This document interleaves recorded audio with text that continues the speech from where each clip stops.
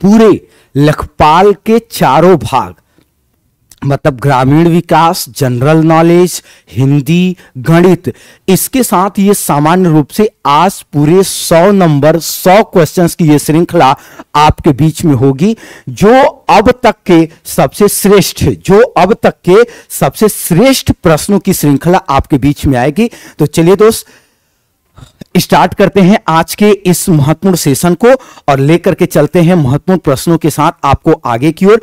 आप सभी लोगों को वेरी वेरी गुड मॉर्निंग आप सभी लोगों को सुप्रभात। आइए क्वेश्चन आंसर की श्रृंखला में आगे की ओर बढ़ेंगे और लेंगे क्वेश्चन नंबर एक। देखिए क्या कह रहा है। कह रहा, धान में भूसी का अनुमानतः कितना प्रतिशत होता है? अब देखिए, प्रश्न कह क्या रहा है? प्रश्न कह रहा है कि आप जानते हैं, धान जब आप फ़सल के तौर पर उगाते हैं तो फ़सल के तौर पर आप धान उगाते हैं। और धान से हमें चावल प्राप्त करने के लिए हमें उसकी भूसी को अलग करना पड़ता है। यही कह रहा है कि धान में जो भूसी की अनुमानता और अनुमानता का मतलब एक औसतन आपको बताना है कि अगर औसतन देखा जाए तो वो औसतन कितना प्रतिशत, औसतन कितना प्रतिशत भूसी निकल जाता है और जितना भूसी निकल जाएगा उसके बाद आपका बचा हुआ अवशेष क्या होता है? चावल होता है। तो चलिए बहुत सारे लोगों का जवाब आने भी लगा है और बिल्कुल और हाँ तो आने भी लगा है कुछ लोगों का पैंतीस, तीस, पैंतीस, इस तरीके से अलग अलग लोगों का जवाब आ रहा है। तो आइए दोस्त, देखिए, ध्यान दीजिएगा। जो हम बात करते हैं तो कह रहा कि क्या 20 प्रतिशत होता है 35 प्रतिशत होता है 10 प्रतिशत 15 प्रतिशत? तो देखिए, जो औसतन माना जाता है, वो 20 प्रतिशत भूसी होती है। मतलब धान में 20 प्रतिशत भूसी होती है और लगभग, और क्या याद रखिएगा, और लगभग 80 प्रतिशत क्या होता है, इससे प्राप्त होता है क्या? चावल। तो औसतन जो होता है, वो 80 प्रतिशत चावल होता है और लगभग 20 प्रतिशत क्या होती है? भूसी होती है। दूसरी एक महत्वपूर्ण बात और आपसे पूछता है। देखिए, इसमें जो कनेक्ट किया जा सकता है या जो चीज़ें आपसे यहाँ से पूछी जा सकती हैं कि चावल चावल जो है, ये किस सीज़न की फ़सल है? तो इसको याद रखेगा कि चावल आपका सामान्यतः खरीफ की फ़सल है। क्या है? तो चावल सामान्यतः खरीफ की फ़सल है। एक तो ये हो गया। अब देखिए खरीफ की फ़सल अगर ऑप्शन में नहीं होगा तो इसी से रिलेटेड चीज़ें आपके बीच में आ जाएगा। क्या? कि खरीफ की फ़सल को हम वर्षा हम वर्षा ऋतु, हम इनको वर्षा ऋतु की, हम इनको वर्षा ऋतु की फ़सल भी बोलते हैं। मतलब खरीफ की फ़सल को ही हम वर्षा ऋतु की फ़सल भी बोलते हैं। अच्छा एक चीज़ यहाँ से और कनेक्ट किया जा सकता है। अगर आपसे एक एग्रीकल्चर को साइंस के साथ अगर कनेक्ट करने का प्रयास किया तो ये पूछेगा कि धान के खेत से कौन सी गैस रिलीज़ होती है? तो याद रखिएगा कि ये गैस आपकी होती है मीथेन। कौन सी गैस बाहर निकलती है है तो इसमें जो गैस बाहर निकलती है वो होती है मीथेन। एक और बात इसके अंतर्गत आपको याद रखना है क्या? कि जो चावल की खेती होती है, जो धान की खेती होती है, इसमें जो जैविक खाद होता है, याद रखिएगा कि इसमें जो जैविक खाद होता है, वो एक बड़ा अंश किसका होता है? तो याद रखिएगा कि वो एक बड़ा अंश होता है सवाल जिसको आप हरी काई बोलते हैं। तो वो हरी काई के तौर पर यह सबसे ज़्यादा मात्रा में प्रयुक्त होता है। इसको याद रखना है। हाँ देखिए ये थोड़ा सा जब डायमेंशनल आप चीज़ें अगर आप पढ़ेंगे तो चीज़ें थोड़ी सी और बेहतर होंगी। तो अब आप देखिए मैक्सिमम का जवाब भी आ रहा है। तो क्लियर हुआ? तो ये इसको याद रखिएगा, बिल्कुल। और कमेंट आने लगा है, बिल्कुल। तो चलिए, आगे की ओर बढ़ते हैं। यहाँ पे क्लियर हो गया। आइए। आइए, आगे की ओर बढ़ते हैं। तो ये क्लियर हो गया। ठीक है? हाँ। बिल्कुल। अब आइए नेक्स्ट क्वेश्चन नंबर टू के क्रम पर आते हैं और देखेंगे प्रश्न नंबर दो क्या कह रहा है। कह रहा है, केसर के लिए पौधे का कौन सा भाग प्रयोग में लाया जाता है? कह रहा है कि हम क्या इसका बाह्य दल भाग में लाते हैं? कह रहा है, इसका क्या वर्तिकाग्र लाते हैं? कह रहा पत्ती लाते हैं? और ऑप्शन नंबर डी कह रहा है कि क्या हम पंखुड़ी लाते हैं? आपको कमेंट करना है और कमेंट करके आपको बताना है कि इसका कौन सा भाग हम सामान्यतः प्रयोग में लाते हैं। चलिए कमेंट करेंगे और कमेंट करके आप बताएँगे चलिए और मैक्सिमम का जवाब आना चाहिए। मैक्सिमम का जवाब आना चाहिए। तो देखिए आप में से बहुत सारे लोगों का जवाब आ भी रहा है। क्या दो का बहुत सारे लोग आ, ए बी सी ए बी सी इस तरीके से जवाब आपका आ रहा है। तो आइए देखते हैं। देखिए ध्यान दीजिएगा। जब हम केसर की बात करते हैं तो याद रखिएगा कि केसर का वर्तिकाग्र, बोलो कौन सा? तो केसर का वर्तिकाग्र भाग हम क्या करते हैं? प्रयोग में लाते हैं। इसको हम सुखा करके, क्या करके? तो याद रखिएगा, इसको सुखा कर ये सामान्यतः प्रयोग में लाया जाता है। अब एक बात और याद रखिएगा, जब केसर की बात आई है तो केसर उत्पादन के लिए कौन सी क्रांति चलाई गई थी? तो याद रखिएगा, केसर उत्पादन में वृद्धि के लिए सेफ्रान क्रांति लाई गई थी। कौन सी क्रांति? तो सेफ्रान क्रांति, इसको याद रखिएगा। और हिमाचल प्रदेश और जम्मू कश्मीर सामान्यतः आपके केसर के लिए प्रसिद्ध भी है, इसको भी याद रखिएगा। तो बोलिए, इसका राइट जवाब क्या होगा? Option number B. मैक्सिमम का जवाब भी आ रहा है। तो हाँ बिल्कुल। हाँ अब क्लियर हो गया? आइए आगे की ओर बढ़ते हैं और लेते हैं क्वेश्चन नंबर तीन। तो इसको याद रखिएगा कि सेफ्रान क्रांति केसर से ये एक चीज़ और कनेक्ट होता है कि कौन सी क्रांति? तो इसको याद रखिएगा, सेफ्रान क्रांति।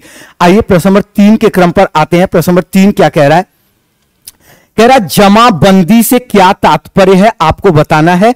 कह रहा कि जमाबंदी से तात्पर्य है कृषि प्रलेख से है बी कह रहा मैपिंग सीट से है सी कह रहा भू अधिकारों के प्रलेख से है, और डी कह रहा पटवारी के नक्शे की, कपड़े की कॉपी से है। आपको कमेंट करना प्रश्न नंबर तीन के लिए, और कमेंट करके आपको बताना कि जमाबंदी से क्या तात्पर्य है। तो देखिए, जो कृषि का प्रलेख होता है, ये तो सामान्यतः आपका खतौनी के नाम से जाना जाता है। तो इसका मतलब ये तो हुआ नहीं।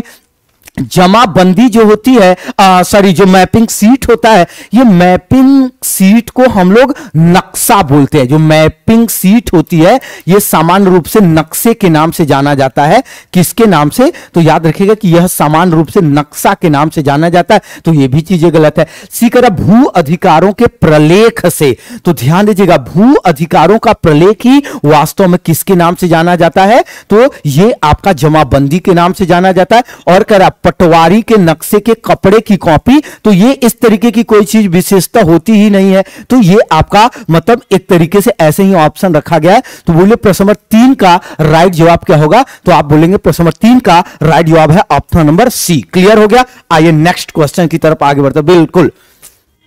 देखिए कमेंट आप करेंगे एक्सप्लेनेशन दिमाग में आपके बैठता चला जाएगा। ये याद रखिएगा। देखिए आगे क्या कह रहा है। कह रहा किसान बही किसके द्वारा प्रदान किया जाता है? यहाँ प्रदान किए जाने का मतलब होता है कि यह अंतिम रूप से ये कौन? मतलब अंतिम रूप का मतलब है कि अंतिम हस्ताक्षर किसका होता है? जब ये मान्य होता है। तो कह रहा है कि क्या कलेक्टर, जिसको आप डिस्ट्रिक्ट मजिस्ट्रेट बोलते हैं, ध्यान दीजिएगा ये डीएम की बात कर रहा है, कह रहा सहायक कलेक्टर, ये एसडीएम की बात कर रहा है, कह रहा तहसीलदार और लेखपाल। चलिए बताएँगे कि किसान बही किसके द्वारा प्रदान जाता है। चलिए, ठीक है तो यहाँ मैक्सिमम का जवाब भी आने लगा है और मैक्सिमम जवाब बता भी रहे हैं। चार का बहुत सारे लोग D D D D D, कुछ लोग का सी जवाब आ रहा है, लेकिन देखिए, आप ध्यान दीजिएगा। देखिए, यहाँ आप धोखा खा गए। किसान बही की हम बात करते हैं और जो किसान बही होता है, ये याद रखिएगा कि ये किसान का अधिकार, ध्यान दीजिएगा मतलब भूमि अधिकार अभिलेख होता है प्रकार से। क्या होता है? तो भूमि अधिकार भूमि अधिकार अभिलेख होता है ये, और ये अभिलेख किसके पास रखा जाता है? तो ये याद रखिएगा कि ये रखा जाता है किसान के पास या ये कृषक के पास होता है। और ये अंतिम रूप से हस्ताक्षरित होता है कलेक्टर का मतलब इसको जो सामान्य रूप से प्रदान किया जाता है, वो कलेक्टर के द्वारा प्रदान किया जाता है या कलेक्टर से हस्ताक्षरित होता है, ये याद रखिए रखिएगा तो इसका राइट जवाब क्या होगा? तो इसको याद रखिएगा कि इसका राइट जवाब होगा ऑप्शन नंबर ए कलेक्टर और आप में से मैक्सिमम का जवाब आया भी है। बिल्कुल लेकिन बहुत सारे लोग आ, सी सी सी जवाब दिया है, लेकिन इसको याद रखेगा कि ये किसान बही जो होता है, ये अंतिम हस्ताक्षरित कलेक्टर का होता है।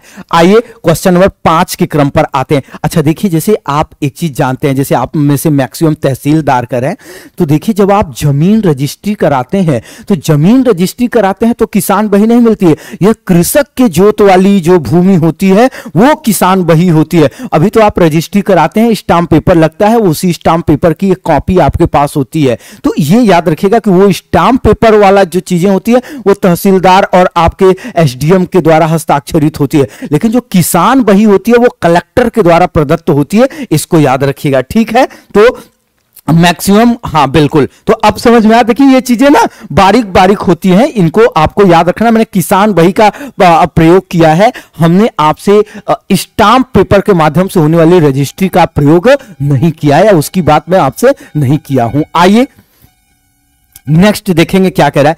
कह रहा है, राजस्व परिषद के अध्यक्ष की नियुक्ति किसके द्वारा की जाती है? आपको बताना कि राजस्व परिषद का अध्यक्ष कौन नियुक्त करता है। ऑप्शन नंबर ए कह रहा है कि राजस्व परिषद के अध्यक्ष की नियुक्ति क्या केंद्र सरकार के द्वारा की जाती है, क्या राज्यपाल के द्वारा की जाती है? कह रहा राज्य सरकार के द्वारा की जाती है। और ऑप्शन नंबर डी कह रहा है कि इनमें से कोई नहीं। चलिए चलिए कमेंट करेंगे और कमेंट करेंगे और बताएँगे कि यह नियुक्ति सामान्यतः किसके द्वारा की जाती है। चलिए और मैक्सियों का जवाब भी आने लगा है। मैक्सियों का जवाब आने लगा है पाँच का।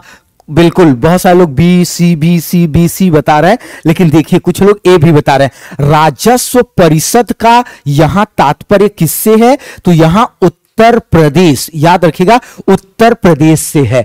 और ये आपके प्रमुख रूप से राज्य सरकार के द्वारा, याद रखिएगा किसके द्वारा? तो ये राज्य सरकार के द्वारा इसकी नियुक्ति की जाती है। तो प्रश्न नंबर पाँच का राइट जवाब क्या होगा? प्रश्न नंबर पाँच का राइट जवाब है ऑप्शन नंबर सी, राज्य सरकार के द्वारा। आइए प्रश्न नंबर छह के क्रम पर आते हैं देखेंगे क्या कह रहा है। कह रहे, यदि पंचायत भंग होती है तो कितने माह के अंदर चुनाव कराना आवश्यक होता है? तो देखिए, अब कह रहा है कि क्या तीन माह के अंदर, छह माह के अंदर, नौ माह के अंदर, बारह माह के अंदर? तो देखिए, जब बात आई है पंचायत चुनाव की, जब बात आई है किसकी? पंचायत चुनाव की बात आई है तो पंचायत चुनाव के क्रम पर आप याद रखिएगा कि इसके लिए आयु कितनी होनी चाहिए? तो आप बोलोगे कि इसके लिए आयु सामान्यतः 21 वर्ष की होनी चाहिए। कितने वर्ष की? तो पंचायत में चुनाव में अगर कोई सदस्य बनना चाहता है मतलब पंचायत चुनाव में यदि कोई सदस्य बनना चाहता है तो उस सदस्य के लिए आयु 21 वर्ष होनी चाहिए। दूसरी बात इसमें एक और याद रखिएगा कि पंचायत में जो योग्यताएँ निर्धारित की गई है, वो यही है कि पागल दिवालिया नहीं होना चाहिए और निर्वाचक नामावली में उसका नामकरण होना चाहिए, ये सारी चीज़ें।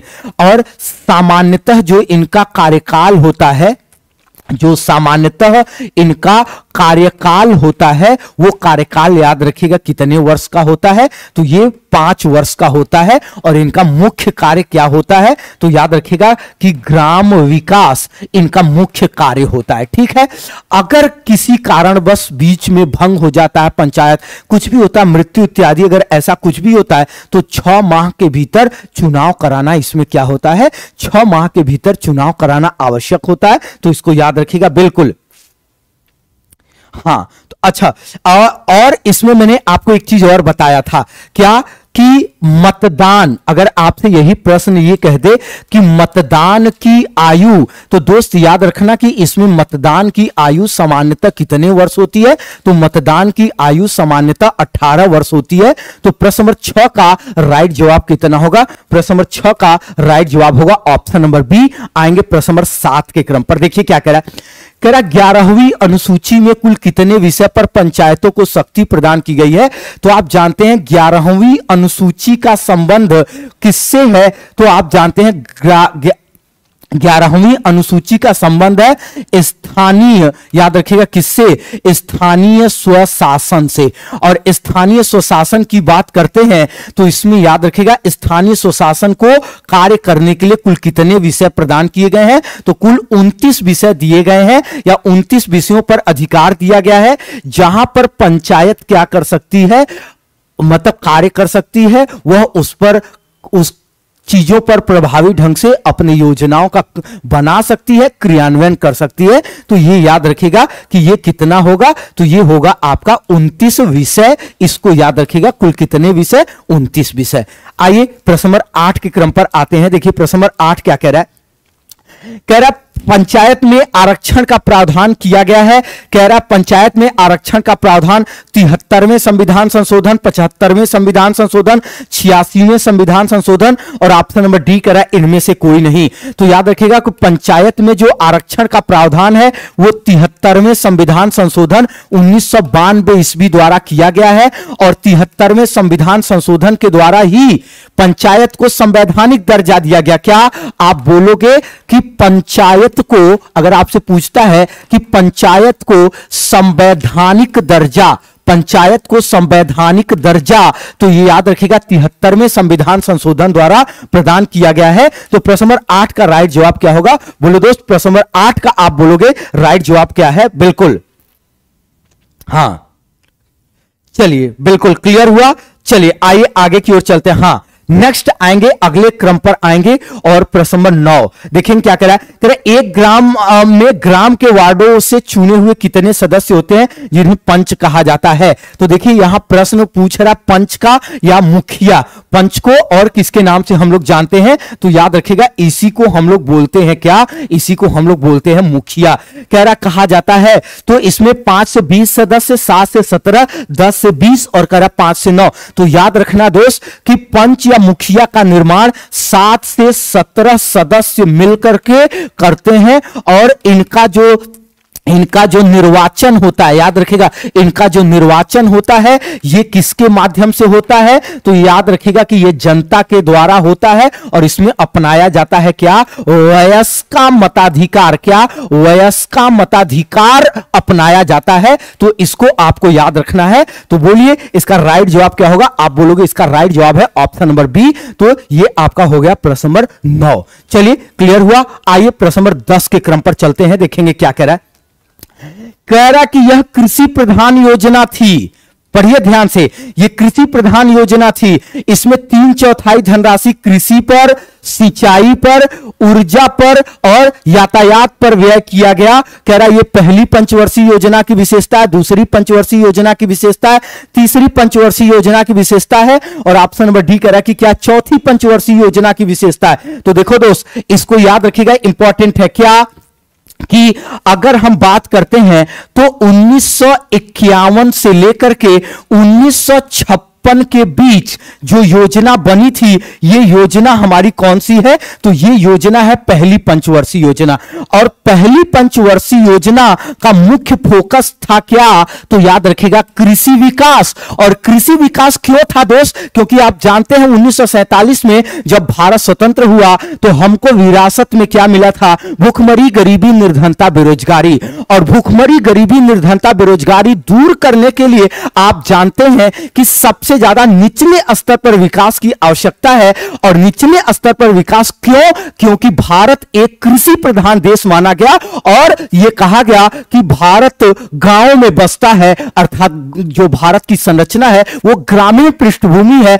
अगर गाँवों में विकास की धारा को आगे की ओर बढ़ाया जाए। अगर गाँव में सही तरीके से कृषि विकास कर दिया जाए तो गाँव के लोग आजीविका के साधन में जुट जाएँगे और वो रोज़गार भी प्राप्त करेंगे और पेटों का भी पालन पोषण भरण होने लगेगा और एक साथ भूखमरी गरीबी निर्धनता ये सारी चीज़ें मतलब इसको ऊपर उठा करके भूखमरी गरीबी निर्धनता को नीचे दबाना ये सबसे मतलब महत्वपूर्ण कदम। तो पहली पंचवर्षीय योजना का मुख्य फोकस या मुख्य जो आ, इसका था ये आपका रखा हुआ था। चलिए ठीक है तो आगे की ओर बढ़ते हैं। चलिए आगे की ओर बढ़ते हैं और सेशन को नेक्स्ट क्वेश्चंस की ओर लेकर के चलते हैं। देखेंगे क्या कह रहा है।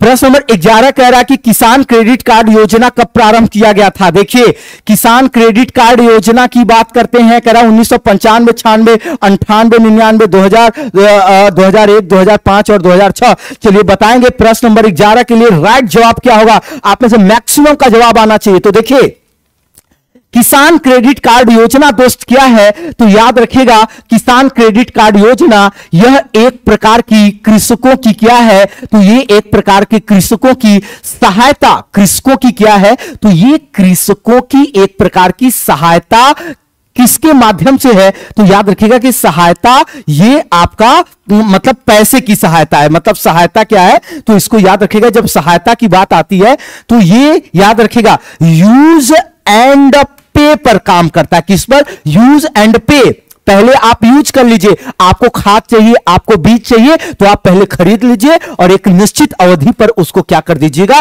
पे कर दीजिएगा। तो इससे आपके कृषि में सहायता मिली। दूसरी बात, किसान क्रेडिट कार्ड के माध्यम से जो और सहायता की गई कि यदि कृषि के दौरान किसी व्यक्ति की मृत्यु हो जाती है और उसके नाम पे कृषि क्रेडिट कार्ड है तो उसको पचास हज़ार रुपए इसके अलावा अगर कोई क्षतिग्रस्त हो जाता है क्षतिग्रस्त हो जाता है तो यहाँ से प्रावधान यह भी किया गया कि उसको पच्चीस हज़ार रुपए इस तरीके की राशि यहाँ से प्रोवाइड कराई जाएगी। और यह शुरू किया गया कहाँ से? तो ये उन्नीस सौ अंठानवे निन्यानवे ईस्वी से शुरू किया गया। चलिए और मैक्सिमम का जवाब भी आ रहा है बिल्कुल। अटल जी की सरकार के द्वारा। तो ये किसान क्रेडिट कार्ड उन्नीस सौ और किसान क्रेडिट कार्ड जो आ, सबसे ज़्यादा सामान्यतः रूप से चल रहा है, वो किस के माध्यम से चल रहा है तो याद रखिएगा, कोऑपरेटिव बैंक। ये सहायता कहाँ से जोड़ी गई थी? तो कोऑपरेटिव, याद रखिएगा कोऑपरेटिव बैंक के द्वारा यह आपका सामान्य रूप से जोड़ा गया था। तो इसको याद रखेगा, ग्यारह का राइट जवाब बोले क्या होगा? तो आप बोलोगे ऑप्शन नंबर बी होगा। प्रश्न नंबर 12 कह रहा, नरेगा का नामकरण महात्मा गांधी के नाम पर करने की घोषणा कब की गई? आप जानते हैं, नरेगा वर्तमान समय में क्या हो गया? मनरेगा हो गया है। तो यही कह रहा, नरेगा से मनरेगा कब किया गया? दो हज़ार छह, सात, आठ, नौ। तो यह भी तो पूछा जा सकता है ना कि नरेगा कब प्रारंभ हुआ? तो नरेगा आपका प्रारंभ हुआ है कब? 2006 में। और इसको मनरेगा कब किया गया? 2009 में। इसमें ज़ोर दिया गया महात्मा गांधी राष्ट्रीय जो आपका ग्रामीण रोज़गार योजना है। तो मनरेगा, पहले क्या था? नरेगा था। तो नरेगा कब प्रारंभ हुआ था? 2006 में। मनरेगा कब से प्रारंभ हुआ है? 2009 में। क्यों? क्योंकि नरेगा में महात्मा गांधी शब्द जोड़ा गया है कब? 2009 में। तो याद रखिएगा प्रश्न नंबर 12 का। राइट जवाब क्या होगा? प्रश्न नंबर 12 का। राइट जवाब होगा आपका ऑप्शन नंबर डी। आइए दोस्त, आगे की ओर बढ़ते हैं और लेते हैं सेशन का क्वेश्चन नंबर तेरह। देखेंगे क्या कह रहा है। कह रहा जो सरकार से भूमि प्राप्त करता है, उसे क्या कहते हैं? कह रहा भूस्वामी कहते हैं, काश्तकार कहते हैं उप काश्तकार कहते हैं, कह रहा जमींदार कहते हैं। तो देखिए, जो ऐसे व्यक्ति जो कृषि योग्य भूमि पुस्तैनी उनके पास चली आती है, उनको हम लोग काश्तकार कहते हैं। लेकिन यहाँ कर जो सरकार से भूमि प्राप्त करता है, उसको हम लोग भूस्वामी बोलते हैं। तो प्रश्न तेरह का, बोलिए राइट जवाब क्या होगा? तो आप बोलोगे प्रश्न तेरह का राइट जवाब है ऑप्शन नंबर ए बोलिए क्लियर हुआ? चलिए, बिल्कुल, हाँ, बिल्कुल मैक्सिमम का जवाब आ रहा देखिए, ऐसे थोड़ा सा धुआंधार तरीके से आप हाँ बिल्कुल। तो आइए नेक्स्ट आगे की ओर बढ़ते हैं और लेते हैं क्वेश्चन नंबर चौदह। क्या कह रहा है? कह रहा, महाल का अर्थ क्या है? चलिए बताएँगे। यहीं यहीं से आया क्या? महालवाड़ी आया। चलिए, अब आगे बताएँगे। कह रहा, गाँव, महल, राजा, नगर, महाल शब्द का अर्थ क्या है? तो याद रखिएगा महाल शब्द का अर्थ क्या होता है दोस्त? आप याद रखना, महाल शब्द का अर्थ होता है गाँव। आएँगे नेक्स्ट क्वेश्चन पर और लेंगे प्रश्न नंबर। ध्यान दीजिएगा क्या?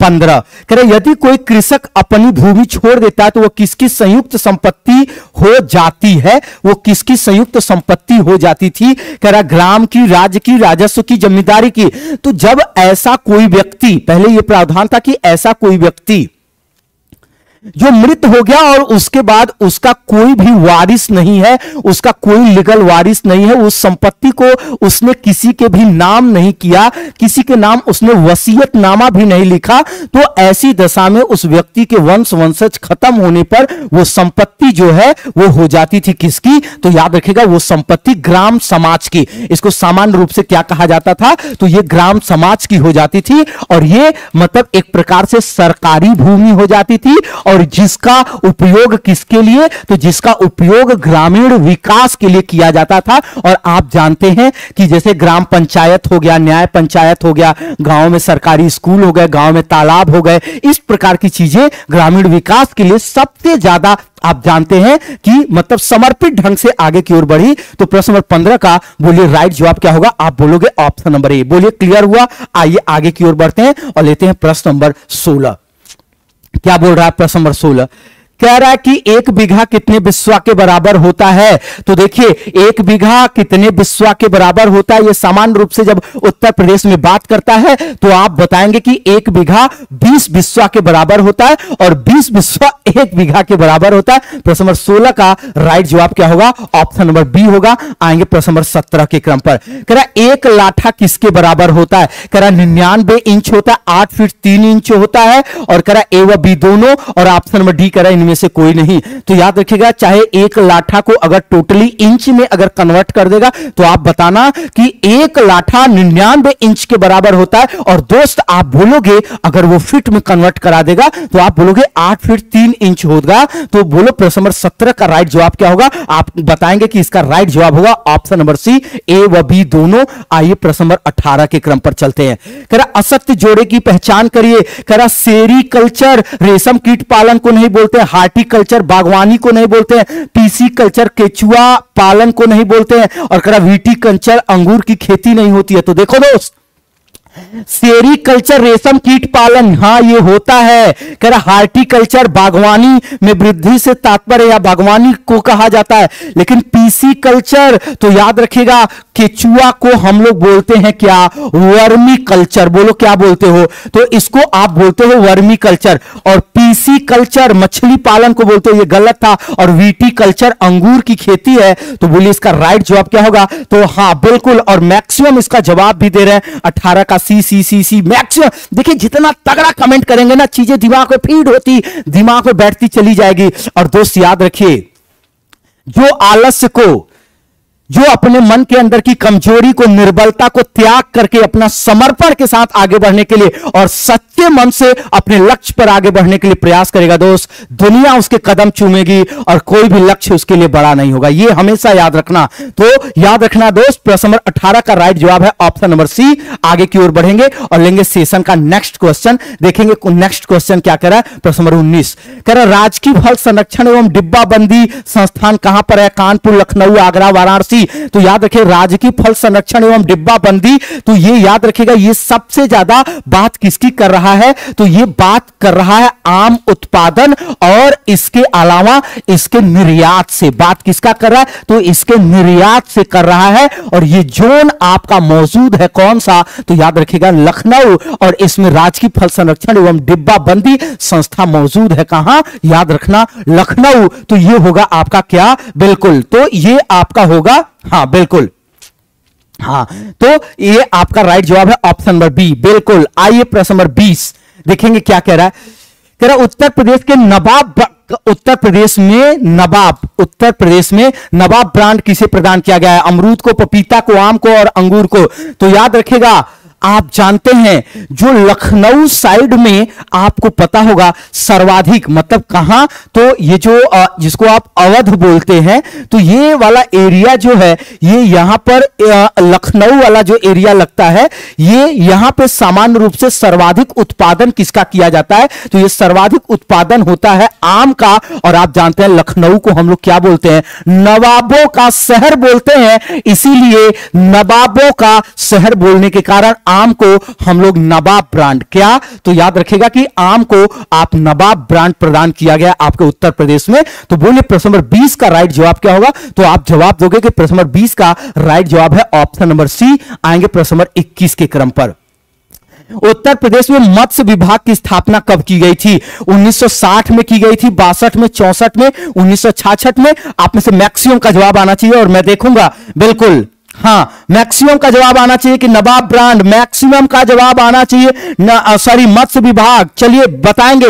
तो ध्यान दीजिएगा, जब मत्स्य की बात आई है तो मत्स्य से जुड़ा हुआ है क्या? याद रखिएगा, दोस्त, नीली क्रांति। क्या याद रखना? नीली क्रांति। और इसका संबंध किससे है? आप बोलोगे, मछली पालन से है। इसी को क्या बोला जाता है? इसी को बोला जाता है नीली अर्थव्यवस्था। बोलो, नीली अर्थव्यवस्था क्या है? तो नीली अर्थव्यवस्था का तात्पर्य है क्या?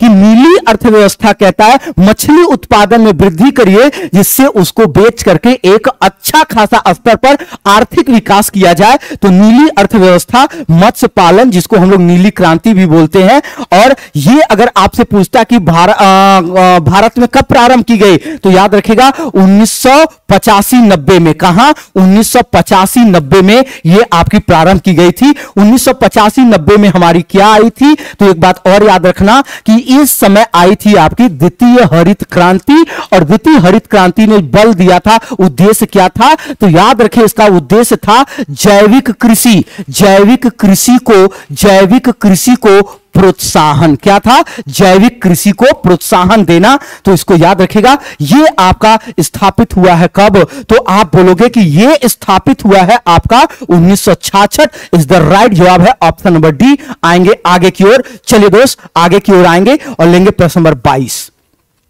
करनाल बंट एक बीमारी है। चलिए बताएँगे किसकी है।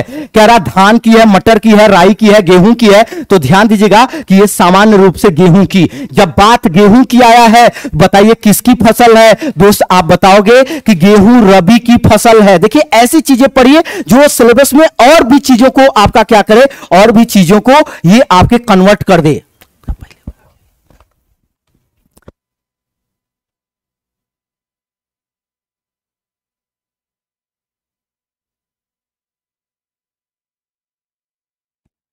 चलिए तो क्या कह रहा है? करनाल बंट एक बीमारी। अब देखिए, बात आ गई रबी के फ़सल की। बोलो, इसकी बुआई कब होती है? तो आप बोलोगे कि इसकी बुआई होती है नवंबर, दिसंबर में। इसकी बुआई कहाँ होती है? नवंबर, दिसंबर में। और ये ध्यान दीजिएगा जब रबी गेहूँ गेहूँ का उत्पादन सबसे ज़्यादा तब होगा, जब सबसे ज़्यादा तापमान में कमी होगी। मतलब जितनी ठंडी पड़ती है, गेहूँ उतना अच्छा होता है। तो इसको याद रखिए रखिएगा कि इसको हम लोग क्या बोलते हो आप? इसको आप बोलते हो शीत ऋतु की। क्या बोलते हो? इसको आप बोलते हो शीत ऋतु की फ़सल। अब इसके अलावा बोलो, अगर आपसे पूछा जाए कि इसकी कटाई कब की जाती है तो आप बोलोगे इसकी कटाई की जाती है मार्च और अप्रैल में। कहा की जाती है? मार्च और अप्रैल में। और आप जानते हैं अगर गेहूँ उत्पादन में अगर आपको उठा करके देखिए तो आपके उत्तर प्रदेश का स्थान सर्वोपरि है। इसके पीछे कारण भी है कि हरित क्रांति सबसे ज़्यादा जो मतलब एक तरीके से मृदा में विकसित होना कहिए तो वो सबसे ज़्यादा हुई कहाँ? तो ये आपके क्षेत्रों में होने का मतलब हमने हरित क्रांति में सबसे अच्छी वृद्धि की तो करनाल बंट आपने से मैक्सिमम ने जवाब क्या दिया? हाँ बिल्कुल। तो मैक्सिमम ने जवाब भी दिया, बिल्कुल, मार्च, अप्रैल। तो आइए आगे की ओर बढ़ाते हैं सेशन को, बिल्कुल। तो आइए आगे की ओर बढ़ाते हैं और लेते हैं क्वेश्चन नंबर ट्वेंटी थर्ड। देखेंगे क्या कह रहा है। कह रहा बासमती चावल के दाने पकाने पर लंबे हो जाते हैं क्योंकि उसमें बाहुल्य है। किसका? चलिए बताएगा, लाइसिन का बाहुल्य है। कह रहा इमाइलोस का बाहुल्य है। कह रहा सरकरा का बाहुल्य है। और ऑप्शन नंबर डी कह रहा तेल का बाहुल्य है। तो ध्यान दीजिएगा, सबसे पहली बात तो जब चावल आया है तो अगर आपके शरीर के अंदर चावल का पाचन होता है तो याद रखेगा इससे सबसे बेहतर तरीके से प्राप्त होता है क्या? तो कार्बो कार्बो, याद रखेगा क्या? कार्बोहाइड्रेट्स, क्या प्राप्त होता है? कार्बोहाइड्रेट्स। और याद रखेगा इसको हम लोग क्या बोलते हैं? तो इसको हम लोग बोलते हैं ऊर्जा देने वाला। क्या बोलते हो आप? ऊर्जा देने वाला आप बोलते हो भोजन। क्या बोलते हो? ऊर्जा देने वाला भोजन। अब देखिए, चावल को एक बार जैसे उलझाया जा सकता है कि चावल पकाने का तरीका है तो याद रखिएगा चावल पकाने का तरीका है दोस्त क्या करके तो याद रखिएगा चावल पकाने का तरीका है उबाल कर और इमाइलोस के कारण, ध्यान दीजिएगा, इमाइलोस के कारण चावल के दाने फूलने पर जब ये उबलते हैं, गर्म होते हैं, ये फूलते हैं तो इनमें फैलाव होता है। और आप में से मैक्सिमम ने जवाब क्या दिया है? लाइसिन दिया है। ना ना ना ना इमाइलोस। और बहुत सारे लोग, मैक्सिमम ने बी दिया भी है। मैक्सिमम ने इसका जवाब बी दिया भी है। और क्या बात है बिल्कुल। तो इसको याद रखेगा, इसका राइट जवाब क्या होगा? ये आपका राइट जवाब होगा इमाइलोस का। चलिए आगे की ओर बढ़ते हैं और आएँगे क्वेश्चन नंबर 24 कह रहा उत्तर प्रदेश में लकड़ी के खिलौने कहाँ पर प्रसिद्ध है? तो देखिए, कह रहा उत्तर प्रदेश में लकड़ी के खिलौने। इस तरीके के क्वेश्चन एक नंबर हर हाल में पूछते ही पूछते हैं। आप बताइए, मिर्जापुर, भदोही, वाराणसी और मऊ। अब देखिए, कुछ इंपॉर्टेंट याद रखेगा। जैसे अगर आपसे कहता है ताले तो आप बोलोगे दोस्त क्या? आप बोलोगे अलीगढ़। क्या याद रखना अलीगढ़। इसी प्रकार से जैसे अगर आपसे कहे दरी या आपसे कह दे कालीन तो याद रखना इसके लिए भदोही मिर्जापुर के बगल वाला जिला भदोही और कालीन भैया याद ही होंगे। तो चलिए नेक्स्ट अगर आते हैं, जैसे वो कहता है कि सुरमा, और सुरमा के बाद क्या कहता है? झुमका कहता है। याद रखना, झुमका गिरा रे मोर बरेली के बाज़ार में। आप जानते हैं तो इसको याद रखेगा कहाँ? बरेली याद रखेगा। ऐसे बहुत सारी चीज़ें हैं। जैसे अगर आपसे कहे कि चमड़े के सामान बोलो। क्या बोले? चमड़े के सामान बोले। तो चमड़े के सामान के लिए आप याद रखना दोस्त, क्या याद रखोगे? कानपुर। इसके अलावा जैसे अन्य भी चीज़ें हैं, जैसे पशुओं का मेला तो ये आगरा बटेश्वर पशु मेला याद रखना। इसके अलावा अगर जैसे आपसे कहे परफ्यूम, आप जिसको इत्र बोलते हो तो आप याद रखना, इसके लिए फ़ेमस है कन्नौज। अगर जैसे कह दे अमरूद जाड़े का सीज़न आ रहा है तो याद रखना इसके लिए आप दोस्त, क्या? प्रयागराज याद रखना। इसके अलावा, जैसे अगर आपसे कह दे आंवला तो आंवला के लिए दोस्त क्या याद रखना? आंवला के लिए आप याद रखना, प्रतापगढ़। बोलो, क्या याद रखोगे? प्रतापगढ़। अब कह रहा उत्तर प्रदेश में लकड़ी के खिलौने कहाँ पर प्रसिद्ध है? तो याद रखेगा, उत्तर प्रदेश में लकड़ी के खिलौने, ये आपके प्रसिद्ध है वाराणसी से। कहाँ प्रसिद्ध है? वाराणसी। इसको याद रखेगा। ठीक है? तो प्रश्न नंबर 24 का राइट जवाब होगा ऑप्शन नंबर सी। चलिए स्क्रीन शॉट लीजिए, आगे की ओर चला जाए। ये महत्वपूर्ण है। स्क्रीन शॉट लीजिए, आगे की ओर चला जाए। बिल्कुल। और बिल्कुल मैक्सिमम आगे की ओर बढ़ रहे हैं। हाँ। बहुत सारी चीज़ें हैं। जैसे इसी में देखिएगा, अब जैसे किसी ने कमेंट भी किया था और ये बहुत बेहतरीन। देखिए, आप जब कमेंट करते हैं ना, चीज़ें और बेहतर होती है। लखनऊ आम के लिए प्रसिद्ध है। इसको भी याद रखेगा इसी तरीके से और पूछा जा सकता है, जैसे कांच बालू सिलिका, क्या पूछा जा सकता है? कांच बालू कांच बालू सिलिका अगर आपसे पूछता है तो कांच बालू सिलिका, आप इसको भी याद रखेगा प्रयागराज। याद करिए, जब वाराणसी की बात आई है तो एक चीज़ और, अगर आपसे कहे कि केंद्रीय, अगर कहे कि केंद्रीय साक भाजी, क्या बोले? अगर कहे केंद्रीय साक भाजी केंद्रीय साक भाजी शोध संस्थान। केंद्रीय साक भाजी शोध संस्थान कहाँ पर मौजूद है? तो इसको याद रखेगा, ये भी आपके वाराणसी में मौजूद है। कहाँ? वाराणसी के राजा तालाब तो इसको याद रखेगा, प्रश्न नंबर चौबीस का राइट जवाब होगा ऑप्शन नंबर सी। बिल्कुल आएँगे प्रश्न नंबर पच्चीस। करा उत्तर प्रदेश में लायन सफारी मौजूद है। चलिए कमेंट करिए और बताएँगे कि ये लखनऊ में मौजूद है, वाराणसी में मौजूद है, कहाँ पर मौजूद है। कमेंट करेंगे और कमेंट करके बताएँगे। चलिए मैक्सिमम का जवाब आना चाहिए। मैक्सिमम का जवाब आना चाहिए।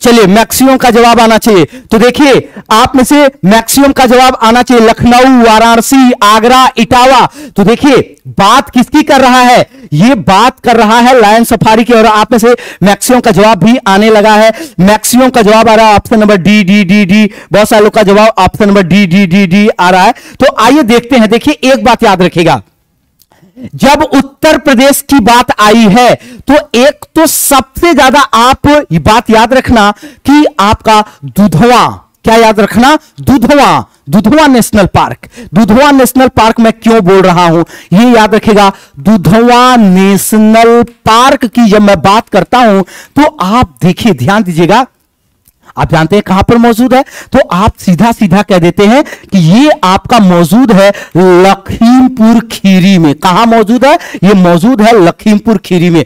अब कह क्या रहा है? एक सबसे इंपॉर्टेंट चीज़ कि ये अंतर्राष्ट्रीय सीमा का साझा करता है किसके साथ? तो ये अंतर्राष्ट्रीय सीमा का निर्धारण करता है नेपाल के साथ। अंतर्राष्ट्रीय सीमा का निर्धारण किसके साथ करता है? तो अंतर्राष्ट्रीय सीमा का निर्धारण करता है ये नेपाल के साथ। और सबसे ज़्यादा फ़ेमस किसके लिए? बारासिंगा ये भी याद रखिएगा। और इसके अलावा, देखिए, एक चीज़ और इंपॉर्टेंट हो सकती है उत्तर प्रदेश में, जो बार बार पूछा जाता है चंद्र प्रभा याद रखेगा चंद्र प्रभा वन्य जीव चंद्र प्रभा वन्य जीव अभ्यारण ये आपका कहाँ पर मौजूद है? तो इसको याद रखिएगा तो इसको याद रखिएगा कि ये आपका वाराणसी के बगल में कहाँ है? दोस्त, याद रखिएगा वाराणसी के बगल में ये चंदौली मौजूद है और याद रखिएगा लायन सफारी की जब भी बात होगी तो लायन सफारी आपके कहाँ मौजूद है? इटावा, याद रखिएगा क्या? लायन सफारी आपके इटावा, बिल्कुल। तो हो गया, चलिए आइए, मैक्सिमम ने जवाब दिया और अब सेशन को आगे की ओर बढ़ाएँगे और अगले क्रम पर, कौन आ रहा कीर्ति मैम।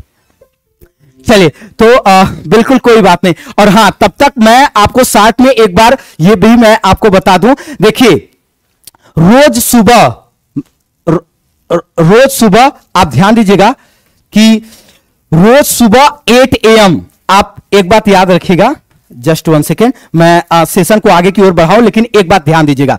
रोज सुबह 8 एम पर हम लोग डेली प्रैक्टिस में लगे हुए हैं किसके? तो हम लोग लगे हुए हैं ग्रामीण विकास। और दोस्त, याद रखिएगा, ये वो वाला पोर्शन है जो अगर आप साथ में सही से अगर प्रैक्टिस करते हैं तो याद रखिएगा 25 क्वेश्चन ये आपके सॉलिड होते हैं फिक्स होते हैं, जो अन्य किसी भी सेगमेंट से सबसे ज़्यादा इंपॉर्टेंट होते हैं, अलग होते हैं, और हम लोग क्यों ना समय से पहले लग करके मेहनत किया जाए? तो रोज सुबह आठ बजे आठ बजे हम ग्रामीण विकास की श्रृंखला के साथ आगे बढ़ते हैं। और हाँ, चंद्रा इंस्टीट्यूट ने लेखपाल की नई बैच प्रारंभ की है। अगर आप अभी तक चंद्रा इंस्टीट्यूट के ऐप से नहीं जुड़े हैं, अगर आप नए हैं तो एकदम बिल्कुल देखिए, बहुत सरल सा तरीका मैं क्या बोल रहा हूँ। देखिए, आप अपने मोबाइल के गूगल प्ले स्टोर में जाइए और गूगल प्ले स्टोर में जाकर के सर्च बॉक्स पर क्लिक करिए और वहाँ पर लिखेंगे आप क्या? आप वहाँ पर लिखोगे चंद्रा इंस्टीट्यूट। चंद्रा इंस्टीट्यूट इलाहाबाद।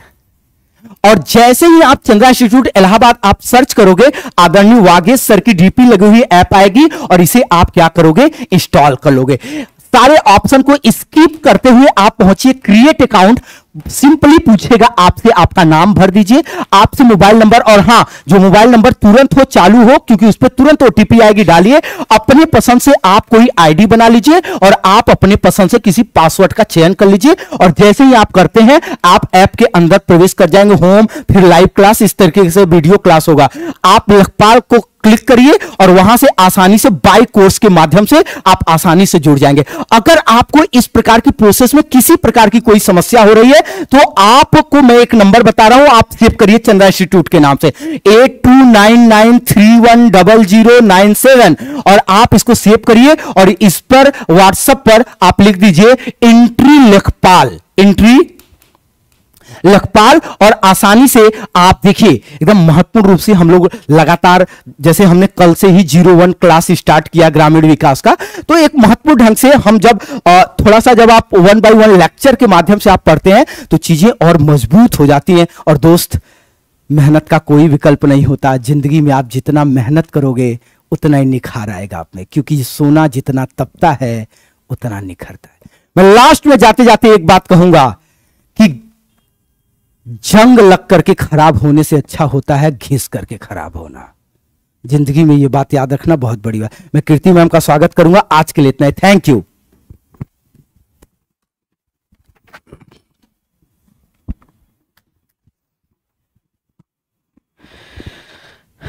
चलिए दोस्तों, एक बार फटाफट से आप सभी को गुड मॉर्निंग दोस्तों, फटाफट से आप सभी लोग लाइव आ जाइए। जैसा कि आप लोग देख रहे थे, यहाँ पर आपके ग्रामीण विकास का सेशन जो बहुत ही इम्पोर्टेंट होता है।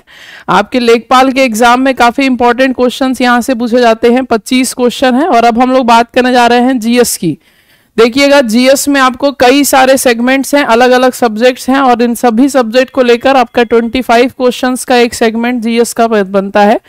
इसमें आपको अलग अलग सब्जेक्ट्स को ध्यान रखते हुए यहाँ पर प्रैक्टिस क्वेश्चंस कराए जा रहे हैं। ये बहुत ही इंपॉर्टेंट है। हमने आपसे पिछली बार भी मॉडल पेपर में कहा था कि ये जो क्वेश्चंस हैं, ये आपके प्रीवियस ईयर क्वेश्चन पेपर से लिए गए हैं, इसलिए इंपॉर्टेंट इसलिए भी होगा कि आपको ये एहसास होगा कि हमारे एग्ज़ाम का पैटर्न कैसा होता है, कितने लेवल तक हमको पढ़ाई करनी है, या किस तरीके से हमको यहाँ पर क्वेश्चन को अटेम्प्ट करना है। देखिएगा फटाफट से, आप सभी लोगों के सामने क्वेश्चन नंबर फ़र्स्ट आ चुका है। इसमें आपसे पूछा जा रहा है कि निम्नलिखित में से कौन सा सही सुमेलित नहीं है। तो ऑप्शन ए दिया हुआ है कि एग्रो पार्क का संबंध लखनऊ से ऑप्शन बी दिया हुआ है अप्रैल पार्क का संबंध नोएडा से, प्लास्टिक सिटी का संबंध कानपुर से या फिर लेदर टेक्नोलॉजी का संबंध उन्नाव से। चलिए, फटाफट से बताएँगे यहाँ पर राइट आंसर देखते हैं कितने लोगों को अपने राज्य के बारे में जानकारी है अच्छे से और कितने लोग इस प्रश्न का सही जवाब दे पाते हैं। देखते हैं फटाफट से यहाँ पर गलत जवाब आपको बताना है और गलत जवाब देखिएगा, एग्रो पार्क का संबंध लखनऊ से है, बिल्कुल सही। प्लास्टिक सिटी के नाम से जाना जाता है। प्लास्टिक सिटी के नाम से दिया है कानपुर, और लेदर टेक्नोलॉजी दिया है उन्नाव एपरल पार्क दिया है नोएडा। देखिए, प्लास्टिक सिटी के नाम से हम औरैया डिस्ट्रिक्ट को जानते हैं। प्लास्टिक सिटी के नाम से हम औरैया डिस्ट्रिक्ट को जानते हैं। दिबियापुर नामक स्थान है और दिबियापुर नामक स्थान प्लास्टिक के उत्पादन के लिए प्रसिद्ध है, इसलिए आप प्लास्टिक सिटी के नाम से आपके कानपुर शहर को नहीं, आपके औरैया ज़िले को जाना जाता है। लेदर टेक्नोलॉजी बिल्कुल सही है, उन्नाव में स्थान का नाम है बंथर। तो बंथर नामक स्थान उन्नाव डिस्ट्रिक्ट के अंतर्गत है, जो लेदर टेक्नोलॉजी के लिए प्रसिद्ध है। साथ ही साथ यहाँ पर अप्रैल पार्क दिया है, ये भी सही है। देखिए, यहाँ पर दिए गए ऑप्शंस में से गलत जवाब पकड़ना था। तो ऑप्शन सी बिल्कुल सही जवाब होगा। जबकि कानपुर के बारे में थोड़ी सी चीज़ें सुन लीजिएगा। कानपुर हमारे उत्तर प्रदेश का एक काफ़ी महत्वपूर्ण शहर है। उद्योगों के दृष्टि से महत्वपूर्ण होने के कारण ही हम इसे उद्योग नगरी के नाम से भी जानते हैं। साथ ही साथ अभी हाल में ये नया जो है रिसेंट मुद्दा यहाँ पर ऐड हुआ है कि हम कानपुर में उत्तर प्रदेश का पहला चमड़ा पार्क स्थापित करने जा रहे हैं। उत्तर प्रदेश का पहला लेदर पार्क यहाँ पर स्थापित किया जा रहा है और चमड़ा के लिए कानपुर और आगरा, ये दो शहर काफ़ी प्रसिद्ध माने जाते हैं। कानपुर और आगरा चमड़ा के लिए प्रसिद्ध है, इसलिए ध्यान रखेंगे। ऑप्शन सी यहाँ पर गलत जवाब होगा। आइए आगे बढ़ते हैं अगले प्रश्न की ओर। Question number second. बहुत ही अच्छा क्वेश्चन है। देखते हैं यहाँ पर कितने लोगों को जैन और बौद्ध धर्म से जुड़े। क्योंकि आप जीएस पढ़ रहे हो जीएस में हिस्ट्री भी पढ़ते हैं। हिस्ट्री में आपको अलग अलग तीन भागों में हिस्ट्री का जानकारी दी जाती है और इसमें एक काफ़ी महत्वपूर्ण हिस्सा है। जैन और बौद्ध धर्म। अब जैन और बौद्ध धर्म का संबंध उत्तर प्रदेश के विभिन्न जिलों से है। आपको बताना है कि यहाँ पर जैन और बौद्ध धर्म दोनों के लिए एकत्रित रूप से प्रसिद्ध तीर्थ स्थल किसे माना जाता है? मतलब अलग अलग जिलों की बात नहीं करनी। यहाँ पर एक वो जिला जो दोनों ही धर्मों के लिए प्रसिद्ध है। ऑप्शन ए दिया हुआ है देवी पाटन, गोंडा ज़िले के अंतर्गत। कौशाम्बी जिला, कुशीनगर या फिर सारनाथ। देखिए, यहाँ पर आपको जो भी ऑप्शंस दिख रहे हैं, उसमें से ध्यान देखिए, बौद्ध धर्म के लिए तो ये तीनों ही चीज़ें प्रसिद्ध हैं, बौद्ध धर्म के लिए। लेकिन चूँकि आपको दोनों धर्मों का एक साथ बताना है तो आप बताएँगे यहाँ पर क्या होगा राइट आंसर उससे पहले हम आपको बताते हैं कि सारनाथ बौद्ध धर्म के लिए यहाँ पर गौतम बुद्ध ने अपना पहला उपदेश दिया था और इसी वजह से सारनाथ में आपके गौतम बुद्ध की सबसे ऊँची प्रतिमा का भी जो है अनावरण किया गया है। कुशीनगर में इन्होंने अपना प्राण त्यागा था, इसलिए हम इसे महापरिनिर्वाण स्थल के रूप में जानते हैं। इसे हम महापरिनिर्वाण स्थल के रूप में जानते हैं। इसके बाद आपका दिया है कौशाम्बी। तो ये आपका राइट आंसर होगा कौशाम्बी, जो कि गौतम बुद्ध और महावीर स्वामी, दोनों ही व्यक्तियों के लिए ये प्रसिद्ध स्थल है। तो ये बौद्ध और जैन धर्म का मुख्य स्थल माना जाता है, जहाँ पर दोनों धर्मों के लिए यहाँ पर शामिल होते हैं। तो ऑप्शन बी बिल्कुल राइट आंसर है और बिल्कुल सही यहाँ पर हमें कमेंट दिख रहा है। सभी लोग बहुत तेज़ी से ऑप्शन बी ऑप्शन बी कह रहे हैं। मतलब आपको थोड़ी बहुत जानकारी है, आपने उत्तर प्रदेश के बारे में कुछ चीज़ें पढ़ रखी हैं। बिल्कुल सही आंसर है ऑप्शन बी आगे बढ़ते हैं अगले सवाल की ओर। Question number three question number three देखिए, सही मिलान करे। सूची में मेले और सूची दूसरे में आयोजन स्थल दिया हुआ है। एक तरफ़ आपको मेलों के नाम दिया है, दूसरी तरफ़ आपको आयोजन, आयोजित करने वाले जिलों के नाम दिया है। अब आपको बताना है, पहले आप देख लीजिए, यहाँ पर सूची के अनुसार मिलान करिए और उसके बाद फिर दिए गए कूट में से हम लोग सही मिलान कर लेंगे। तो देखिए, सबसे पहले आप लोग ध्यान से सुनिए, मेलों से संबंधित मोस्ट इंपॉर्टेंट क्वेश्चंस एक न एक आपके एग्ज़ाम में ज़रूर देखने को मिलते हैं, क्योंकि हमारे एग्ज़ाम में यूपी लेखपाल का एग्ज़ाम है और यूपी के जीके को एक अहम रोल मानते हुए हम यूपी के उन सभी चीज़ों को पढ़ते हैं जो आपके सामान्य ज्ञान के दृष्टिकोण से महत्वपूर्ण है। और यहाँ पर हमने आपसे पहले भी कहा है, पिछले मॉडल पेपर में भी कहा था कि आप लोग मेला और धार्मिक स्थल, पर्यटन स्थल, उद्योग परिवहन एवं शिक्षा के चीज़ों को अच्छे से पढ़ लीजिए। उत्तर प्रदेश के संबंध में ये सारी चीज़ें आपके एग्ज़ाम में पूछी जाएँगी। तो देखिए, यहाँ पर एक सवाल है आपके सामने। बटेश्वर मेला बटेश्वर मेला को ही हम पशु मेला के नाम से भी जानते हैं। हमारे उत्तर प्रदेश राज्य में दो जगह पर पशु मेले का आयोजन किया जाता है, लेकिन बटेश्वर मेला प्रसिद्ध है क्योंकि यहाँ पर आपके राज्य के आसपास जितने भी ज़िले हैं, जैसे राजस्थान राज्य सटा हुआ है तो राजस्थान से ऊँट यहाँ पर जो है एकत्र होकर इनके अंतर्गत विभिन्न प्रतियोगिताओं का आयोजन किया जाता है और इसी वजह से आप बटेश्वर मेला को पशु मेला या ऊँट मेला भी कहते हैं। बटेश्वर मेला का आयोजन आपके आगरा डिस्ट्रिक्ट में किया जाता है, फिर यहाँ पर देवा शरीफ मेला है, जो कि संत सूफी वारिस अली शाह की मजार पर आयोजित होता है और ये देवा शरीफ का मेला लगता है बाराबंकी में। हरिदास जयंती है, जो कि आयोजित की जाती है। हरिदास जयंती आयोजित की जाती है आपके मेरठ में। और सॉरी, यहाँ पर आयोजित किया जाता है आपके वृंदावन मथुरा में और नौचंदी का मेला लगता है मेरठ में। ध्यान से सुन लीजिए मेरी बात। आपको मेरठ के साथ साथ एक और चीज़ याद रखनी है। मेरठ में नौचंदी का मेला और सरधाना महोत्सव। नौचंदी का मेला और सरधाना महोत्सव। मथुरा के साथ एक और इंपॉर्टेंट बात कि मथुरा जब भी आपसे पूछा जाए तो ध्यान रखिएगा कि ये सर्वाधिक मेलों वाला शहर है। यहाँ पर उत्तर प्रदेश के अंतर्गत आयोजित होने वाले सर्वाधिक मेले उत्तर प्रदेश के मथुरा शहर में आयोजित होते हैं। और आगरा प्रसिद्ध है इसके साथ साथ सुलह कुल महोत्सव के लिए। आगरा प्रसिद्ध है सुलह कुल महोत्सव के लिए। तो ये सारे फैक्ट हैं जो आपको याद रखने हैं।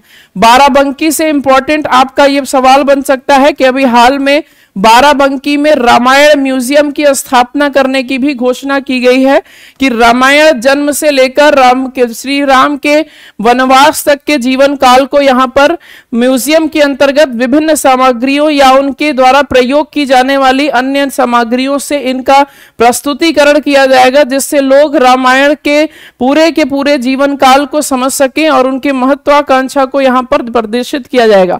तो ये आपका हो गया ऑप्शन ए का ऑप्शन थ्री है, फिर आपका ऑप्शन बी का वन है और ऑप्शन सी का फोर है एंड ऑप्शन डी का टू है। तो देखिए थ्री वन फोर टू हमारा राइट आंसर होगा और यहाँ पर आपको कूट दिया हुआ है तो अब आपको यही सही जवाब मिल चुका है, इसलिए आपको कूट तक जाने की बहुत आवश्यकता नहीं एक बार स्क्रीनशॉट ले लेंगे, आपको सारे लोगों को ये सारी चीज़ें याद होनी चाहिए।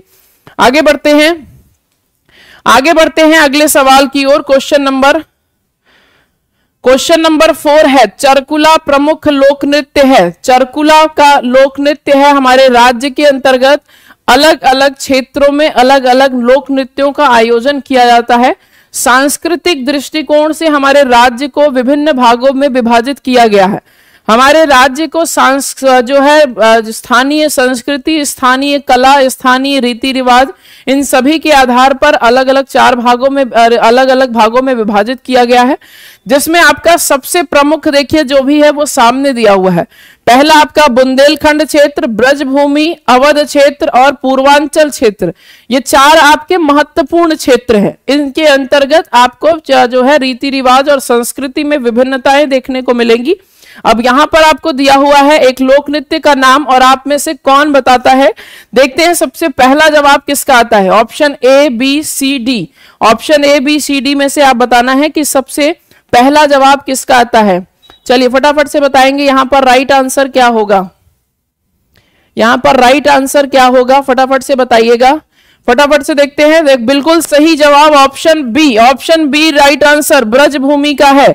ब्रज भूमि के अंतर्गत चरकुला नृत्य है, मयूर नृत्य है, झूला नृत्य है, ये सब आपके नृत्य है संबंधित, कहाँ से?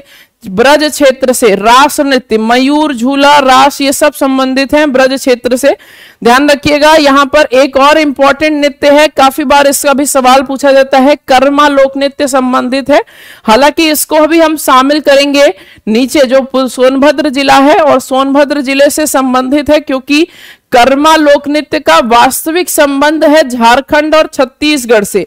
और झारखंड और छत्तीसगढ़ से दोनों ज़िले राज्यों से सटा होने के कारण आपके सोनभद्र ज़िले में यह नृत्य का आयोजन किया जाता है, जिसका नाम है कर्मा नृत्य। अगला सवाल question number five. Question number five, देखिए आ गया है आपका कंप्यूटर या फिर कह सकते हैं टेक्नोलॉजी से संबंधित सवाल। और यहाँ पर आपसे पूछा जा रहा है कि विश्व का प्रथम इलेक्ट्रॉनिक कंप्यूटर यहाँ पर ध्यान रखिएगा ऑप्शन ए दिया हुआ है इनियक ऑप्शन बी है यूनिवैक ऑप्शन सी है मार्क प्रथम एंड ऑप्शन डी इज़ इनमें से कोई नहीं। फटाफट से बताएँगे यहाँ पर राइट आंसर क्या होगा। प्रथम इलेक्ट्रॉनिक कंप्यूटर अर्थात यहाँ पर कहा जा रहा है कि प्रथम पीढ़ी का कंप्यूटर आपको बताना है। फ़र्स्ट जनरेशन जिसमें हमने इस्तेमाल किया था वैक्यूम ट्यूब और वैक्यूम ट्यूब से लग युक्त आपका पहला इलेक्ट्रॉनिक कंप्यूटर जो कि आपका जाना जाता है द्वितीय विश्व युद्ध के कंप्यूटर के नाम से, नाम है इसका इनियक फुल फॉर्म देख लीजिए। Electronic numerical integrated and computer electronic numerical, integrated and computer. ये आपका है पहला इलेक्ट्रॉनिक कंप्यूटर। ध्यान से सुन लीजिए और सारी चीज़ें नोट कर लीजिए। अगर आपसे ये भी पूछा जाए कि प्रथम पीढ़ी का प्रथम कंप्यूटर कौन सा तो भी आपका जवाब सेम होगा इनियक, जो कि प्रथम पीढ़ी में वैक्यूम ट्यूब से मिलाकर बनाया गया और इसको हम इलेक्ट्रॉनिक कंप्यूटर के रूप में भी जानते हैं। आइए आगे बढ़ते हैं अगले क्वेश्चन की ओर। अगले प्रश्न की ओर बढ़ते हैं। Question number six.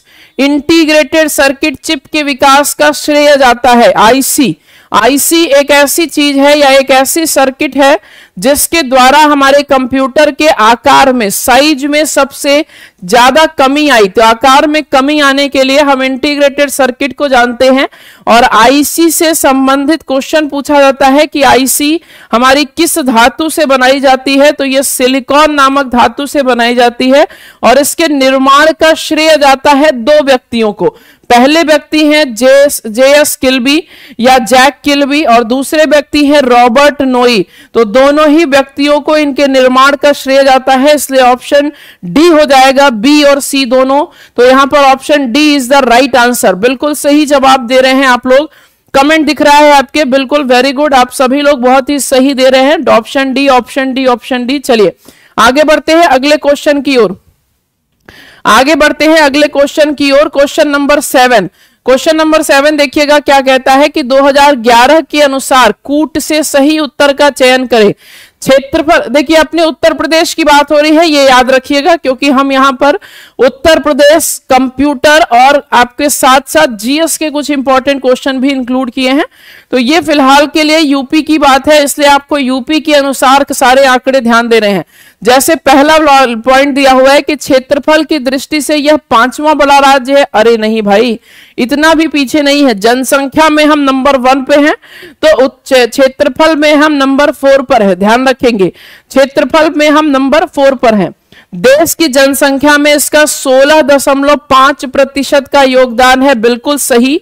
Option C दिया हुआ है, इसका यौन अनुपात राष्ट्रीय औसत से अधिक है। बिल्कुल सही। इसका बात है, इसकी साक्षरता दर राष्ट्रीय औसत से कम है। तो देखिएगा, यहाँ पर दिए गए ऑप्शन में से आपको बताना है कि यहाँ पर ऑप्शन कितने सही हैं। पहला कूट दिया हुआ है एक और दो, ऑप्शन बी है दो और तीन, ऑप्शन सी है दो और चार एंड ऑप्शन डी है तीन और चार। फटाफट से बताइएगा राइट आंसर क्या होगा? आप में से कितने लोग बताएँगे यहाँ पर हमारे राज्य का लिंगानुपात कितना है? जैसा कि भारत का लिंगानुपात है नौ वैसे भारत के साथ अपेक्षा उत्तर प्रदेश का लिंगानुपात अधिक है या कम है? फटाफट से बताइएगा राइट आंसर क्या होगा? साक्षरता दर में आपका राज्य आगे है या यौन अनुपात में राज्य आगे है? फटाफट से बताइए राइट आंसर चलिए क्वेश्चन नंबर सेवन का बताएँगे राइट आंसर देखिए, हमने एक जवाब आपको दे दिया है कि ऑप्शन सी यहाँ पर बी बिल्कुल सही जवाब है। और ऑप्शन ए गलत है, इसलिए ऑप्शन ए के साथ साथ हमारा ये गलत हो जाएगा। और ये भी गलत हो जाएगा क्योंकि इसमें दो शामिल नहीं है। अब बचा ऑप्शन बी एंड सी। बताइएगा, राइट आंसर क्या होगा? बिल्कुल, देखते हैं कितने लोग यहाँ पर सही जवाब देते हैं क्वेश्चन नंबर सेवन के लिए। क्वेश्चन नंबर सेवन के लिए देखते हैं कितने लोग सही जवाब देते हैं। 912 बिल्कुल सही 912 क्षेत्रफल के अनुसार से कम है। मैं, भारत का नौ है और यूपी का 912 है। बिल्कुल सही। देखिए, यौन अनुपात राष्ट्रीय औसत से अधिक है नहीं तो बिल्कुल दूसरा और चौथा चौथा सही हो गया तो ऑप्शन सी बिल्कुल राइट आंसर है। अगले सवाल की ओर बढ़ते हैं। Question number eight question number eight देखिएगा, क्या कहता है? कि एक रुपए के भारतीय नोट पर किसके हस्ताक्षर होते हैं? ये आपका बहुत ही इंपॉर्टेंट सवाल है, क्योंकि जनरली लोगों को यही जानकारी है कि जितने भी हमारे पास करेंसीज हैं, उन सभी करेंसीज पर वित्त मंत्री के हस्ताक्षर होते हैं, लेकिन सिवाय एक रुपए के नोट पर आपके सभी करेंसीज पर आपको वित्त मंत्री के हस्ताक्षर देखने को मिलेंगे। तो यहाँ पर आपको देखिए, वित्त मंत्री के नहीं गवर्नर के हस्ताक्षर देखने को मिलेंगे। तो गवर्नर यहाँ पर आपके वर्तमान समय में कौन है? आपको पता है कि अभी वर्तमान समय में गवर्नर कौन है? फटाफट से बताइएगा, गवर्नर कौन है? और गवर्नर के अलावा एक रुपए की नोट पर किसके हस्ताक्षर देखने को मिलेंगे? क्या गवर्नर भारतीय रिज़र्व बैंक? नहीं, अभी हमने आपको यह क्लियर कर दिया कि ये नहीं होगा। इसलिए ऑप्शन बी है, सचिव वित्त मंत्रालय या वित्त मंत्री, या इनमें से कोई नहीं। और एक रुपए के नोट पर आपको मिलते हैं वित्त मंत्रालय के सचिव के हस्ताक्षर। ये आपका सवाल काफ़ी इंपॉर्टेंट है और आप सभी लोग मुझे कमेंट करके बताइए कि वर्तमान समय में गवर्नर के पद पर कौन व्यक्ति है? रिज़र्व बैंक के गवर्नर जिसे आप बैंकों का बैंक भी कहते हैं क्वेश्चन नंबर नाइन देखिए। हम न्यायिक पुनरावलोकन की व्यवस्था रखते हैं। कौन से देश से हमने ये न्यायिक पुनरावलोकन की व्यवस्था ली है? भारत से यूके से यूएसए से या भारत और यूएसए दोनों से? फटाफट से बताइए।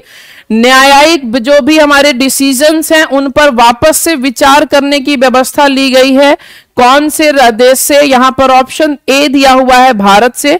ऑप्शन बी ब्रिटेन से, option C United State of America से एंड ऑप्शन डी है भारत और यूएसए भाई, भारत की न्यायिक व्यवस्था है तो हम भारत से संविधान से कैसे ले सकते हैं?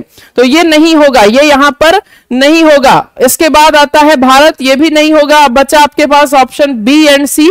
तो न्यायिक पुनरावलोकन की व्यवस्था ली गई है यूनाइटेड स्टेट ऑफ़ अमेरिका से so option C for the Chandra is the right answer अगला सवाल देखते हैं question number ten question number ten आपके सामने है कि भारत में श्वेत क्रांति के जनक किसे कहा जाता है? एम एस स्वामीनाथन को, वर्गीस कुरियन को के एन बहल को या बीपी पाल को? फटाफट से बताएँगे क्वेश्चन नंबर टेन इसके बाद आपको मिलेंगे साइंस के क्वेश्चंस तो सभी लोग शेयर कर दीजिए अपनी अपनी संख्या को बढ़ा लीजिए। ये लास्ट सवाल है और इसके बाद साइंस के लिए अतुल सर आ चुके हैं और आप लोग सब साइंस के क्वेश्चंस देखिएगा। काफ़ी इंपॉर्टेंट है। हमने आपको पहले कहा कि 25 क्वेश्चन में आपको अलग अलग सब्जेक्ट्स को ध्यान देना है, इसलिए जीएस आपके लिए काफ़ी टफ माना जाता है। लोगों को थोड़ा सा दिक्कतें आती हैं, इसलिए आप सब्जेक्ट को समझिए। एक एक टॉपिक को क्लियर करेंगे तो इससे आपको आसान हो जाएगा। चलिए, आइए क्वेश्चन नंबर टेन देखते हैं। क्वेश्चन नंबर टेन का सही जवाब होगा Verghese Kurien. Question number ten का सही जवाब होगा भारत में श्वेत क्रांति के जनक कहा जाता है वर्गीस कुरियन। चलिए तो देखिए, श्वेत क्रांति दिवस कब मनाते हैं? श्वेत क्रांति मतलब श्वेत क्रांति का संबंध है किससे? आप लोगों को पता होगा, दूध से संबंधित है श्वेत क्रांति। और दुग्ध दिवस के रूप में हम 26 जनवरी को हर वर्ष दुग्ध दिवस सॉरी 26 नवंबर को यहाँ पर सर खड़े हुए हैं, इसलिए थोड़ा बहुत जो है आपको अलग सी चीज़ें बताने के चक्कर में, क्योंकि देखिएगा, बहुत सारी चीज़ें हैं जो हम लोग चाहते हैं कि आपको हर बार पता हो। कुछ नया हर बार आप सीखे, और इस वजह से हम लोग यहाँ पर हर वर्ष, हर बार प्रयास कर रहे हैं। प्रति संडे आपको मॉडल पेपर दिया जा रहा है, और मॉडल पेपर के माध्यम से आपको लेखपाल का एग्ज़ाम क्वालिफाई कराने का ये पूरा का पूरा हमारा इरादा है। तो हम लोग इसके लिए देखेंगे, यहाँ पर राइट आंसर ऑप्शन बी है और 26 नवंबर को आयोजित किया जाता है दुग्ध दिवस। तो अब फटाफट से आगे बढ़ते हैं और हम लोग बुलाते हैं अतुल सर को, जो आगे का सेशन कंटिन्यू करेंगे। तो थैंक यू सो मच आप सभी का बहुत बहुत धन्यवाद।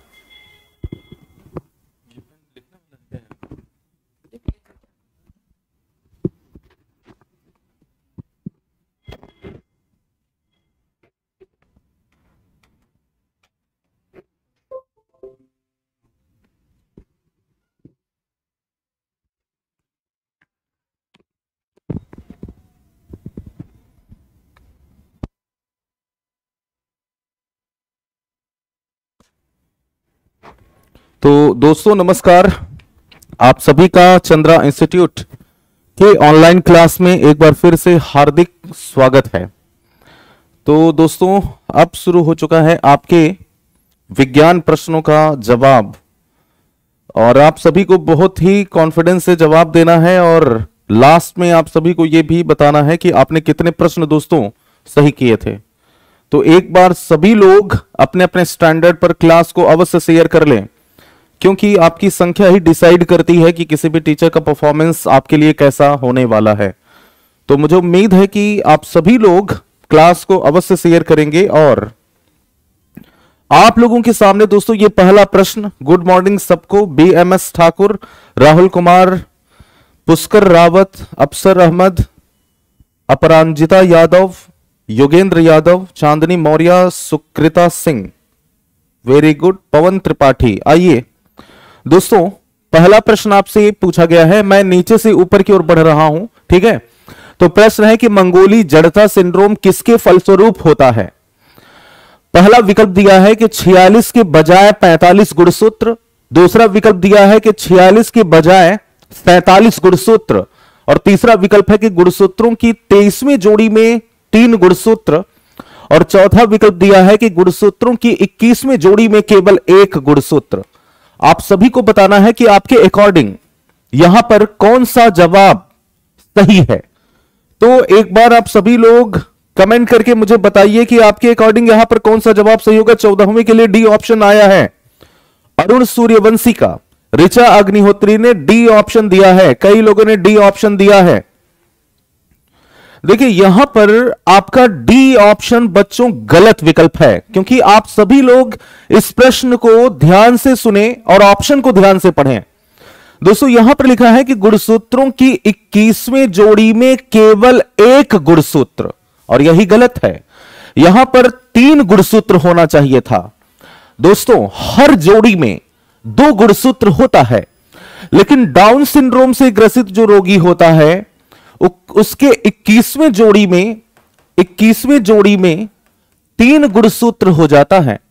21वें जोड़ी में तीन गुणसूत्र हो जाता है। यानी कि दो पहले से था, एक एक्स्ट्रा अटैच हो जाता है, एक अतिरिक्त जुड़ जाता है और तीन हो जाता है। भाई, दो पहले से था, एक अलग से जुड़ गया तो तीन हो गया।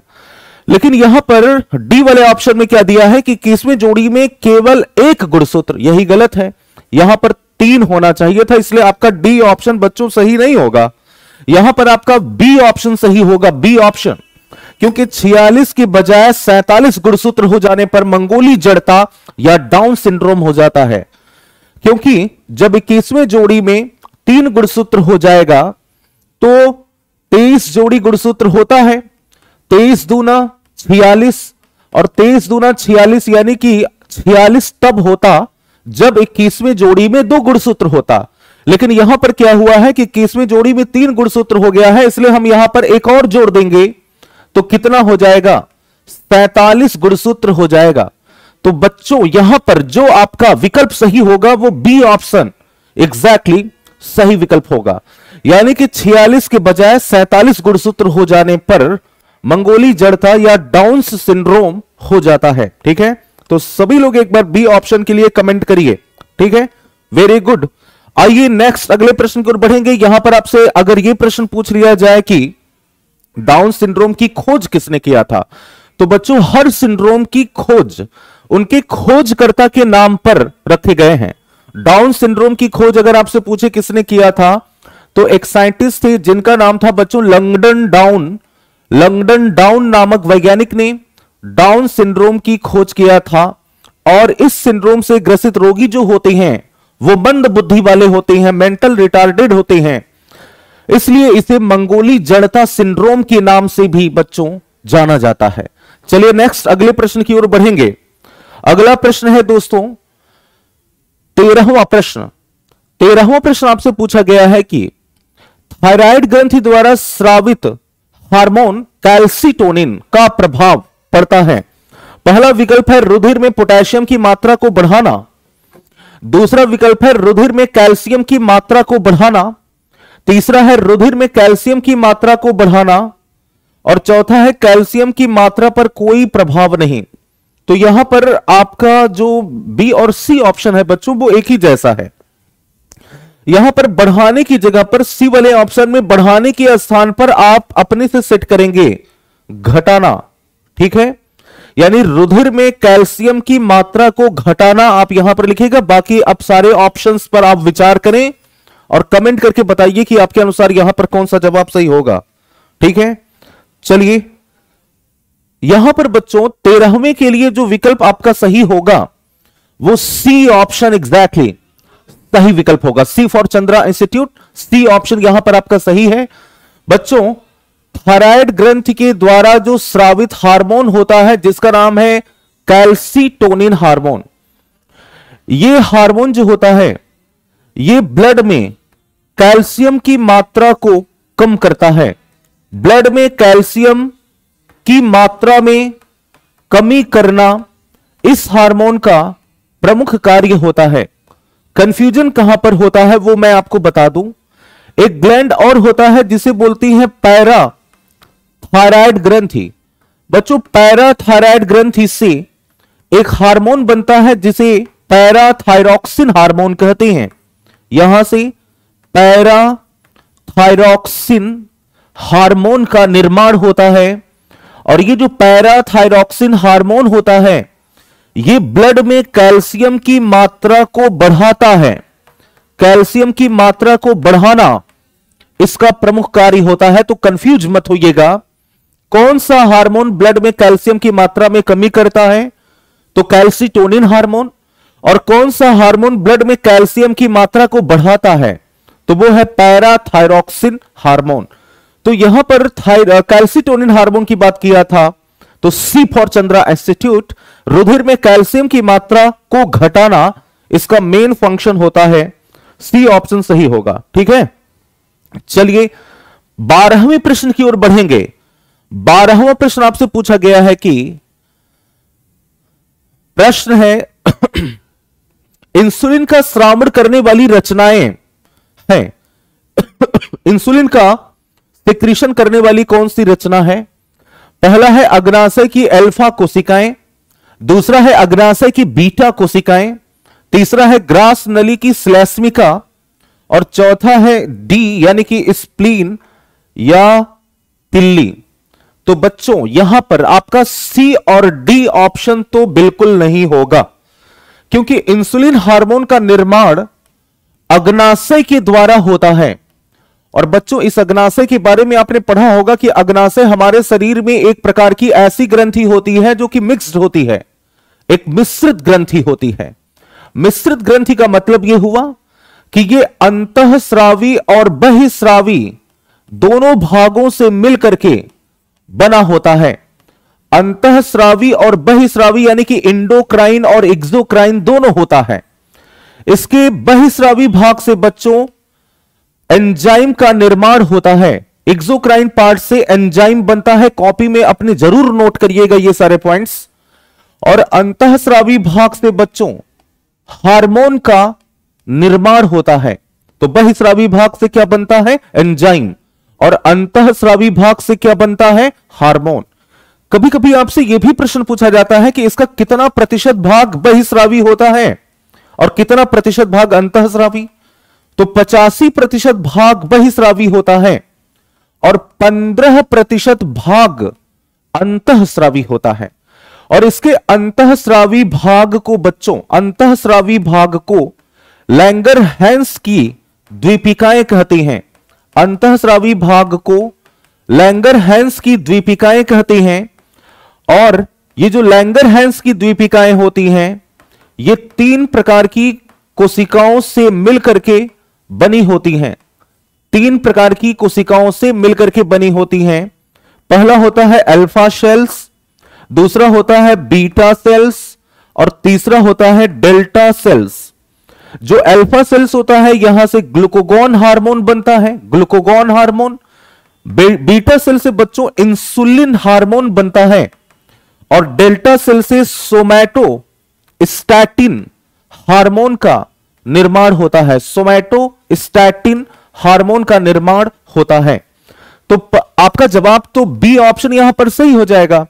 क्योंकि बीटा सेल्स जो होती हैं, ये हार्मोन का इंसुलिन हार्मोन का निर्माण करती हैं, ठीक है? इंसुलिन हार्मोन का निर्माण करती हैं। लेकिन अगर यहीं पर आपसे प्रश्न पूछ ले कि इंसुलिन हार्मोन की कमी से कौन सा रोग होता है तो बच्चों इंसुलिन हार्मोन की कमी हो जाने पर आप सभी को पता है डायबिटीज़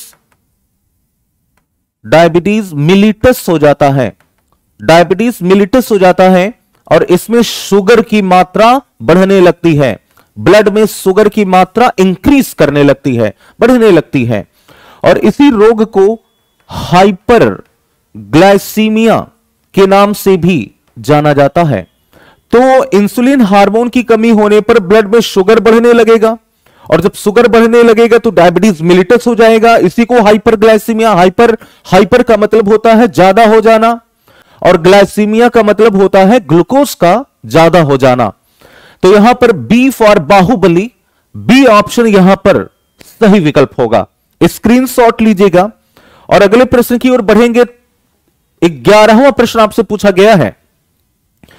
प्रश्न है कि निम्न में से बीज विहीन संवहनीय पौधा कौन सा है? यानी कि ऐसा कौन सा पौधा है जिसमें बीज नहीं पाया जाता, लेकिन संवहन उतक पाए जाते हैं?